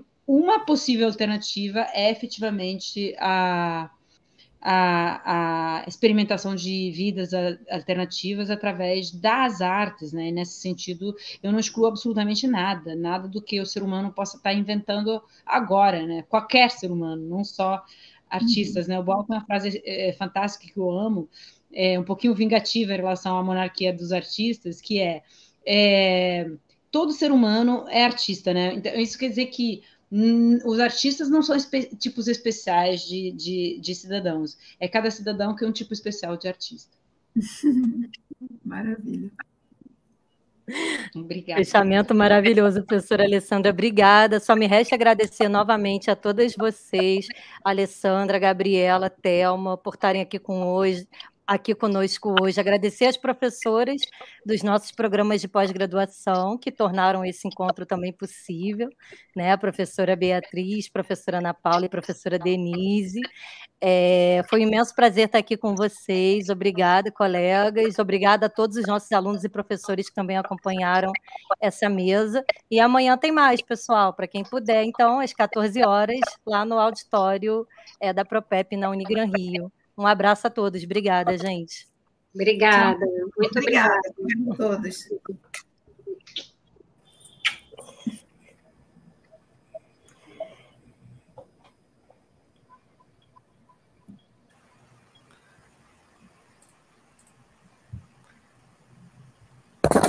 Opa, minha câmera estava desligada, gente. Desculpa, obrigada a vocês por participarem das questões atuais de ensino. Um prazer, foi ótimo. Muito obrigada, participando também do seminário. Nós, do programa do pós-graduação Ensino das Ciências, ficamos muito felizes com o aceite de vocês e a participação. Muito obrigada. Obrigada. Gente, então, para fechar, temos então é, vamos falar de questões atuais de ensino na próxima semana. Queria agradecer todos os professores, PROPEP, PPGHCA, PPGEC, todos que assistiram aqui ao vivo, as professoras Alessandra, Gabriela, Thelma, Ana Paula, Beatriz, Denise, professor, os professores Davi, que participaram de manhã, né? Davi Silva e o Davi Lebreton. Né? E na próxima semana, aqui no canal do PPGC, temos o professor Dr. Américo Gonçalves Ferreira Morim, tá? Ele vai falar sobre jogos digitais no processo de alfabetização lúdica. Então, aguardo vocês dia 3 do 10 aqui no canal do PPGC, 15 horas, para falar e refletir um pouquinho sobre jogos digitais no processo de alfabetização. Gente, um beijão, obrigado por estar aqui assistindo. O dia hoje foi fantástico, né? Palestra de manhã, palestra à tarde, mesa redonda. Nossa, foi ótimo, gente. Muito obrigada. Um beijão para todos. Até segunda-feira, 15 horas. Tchauzinho.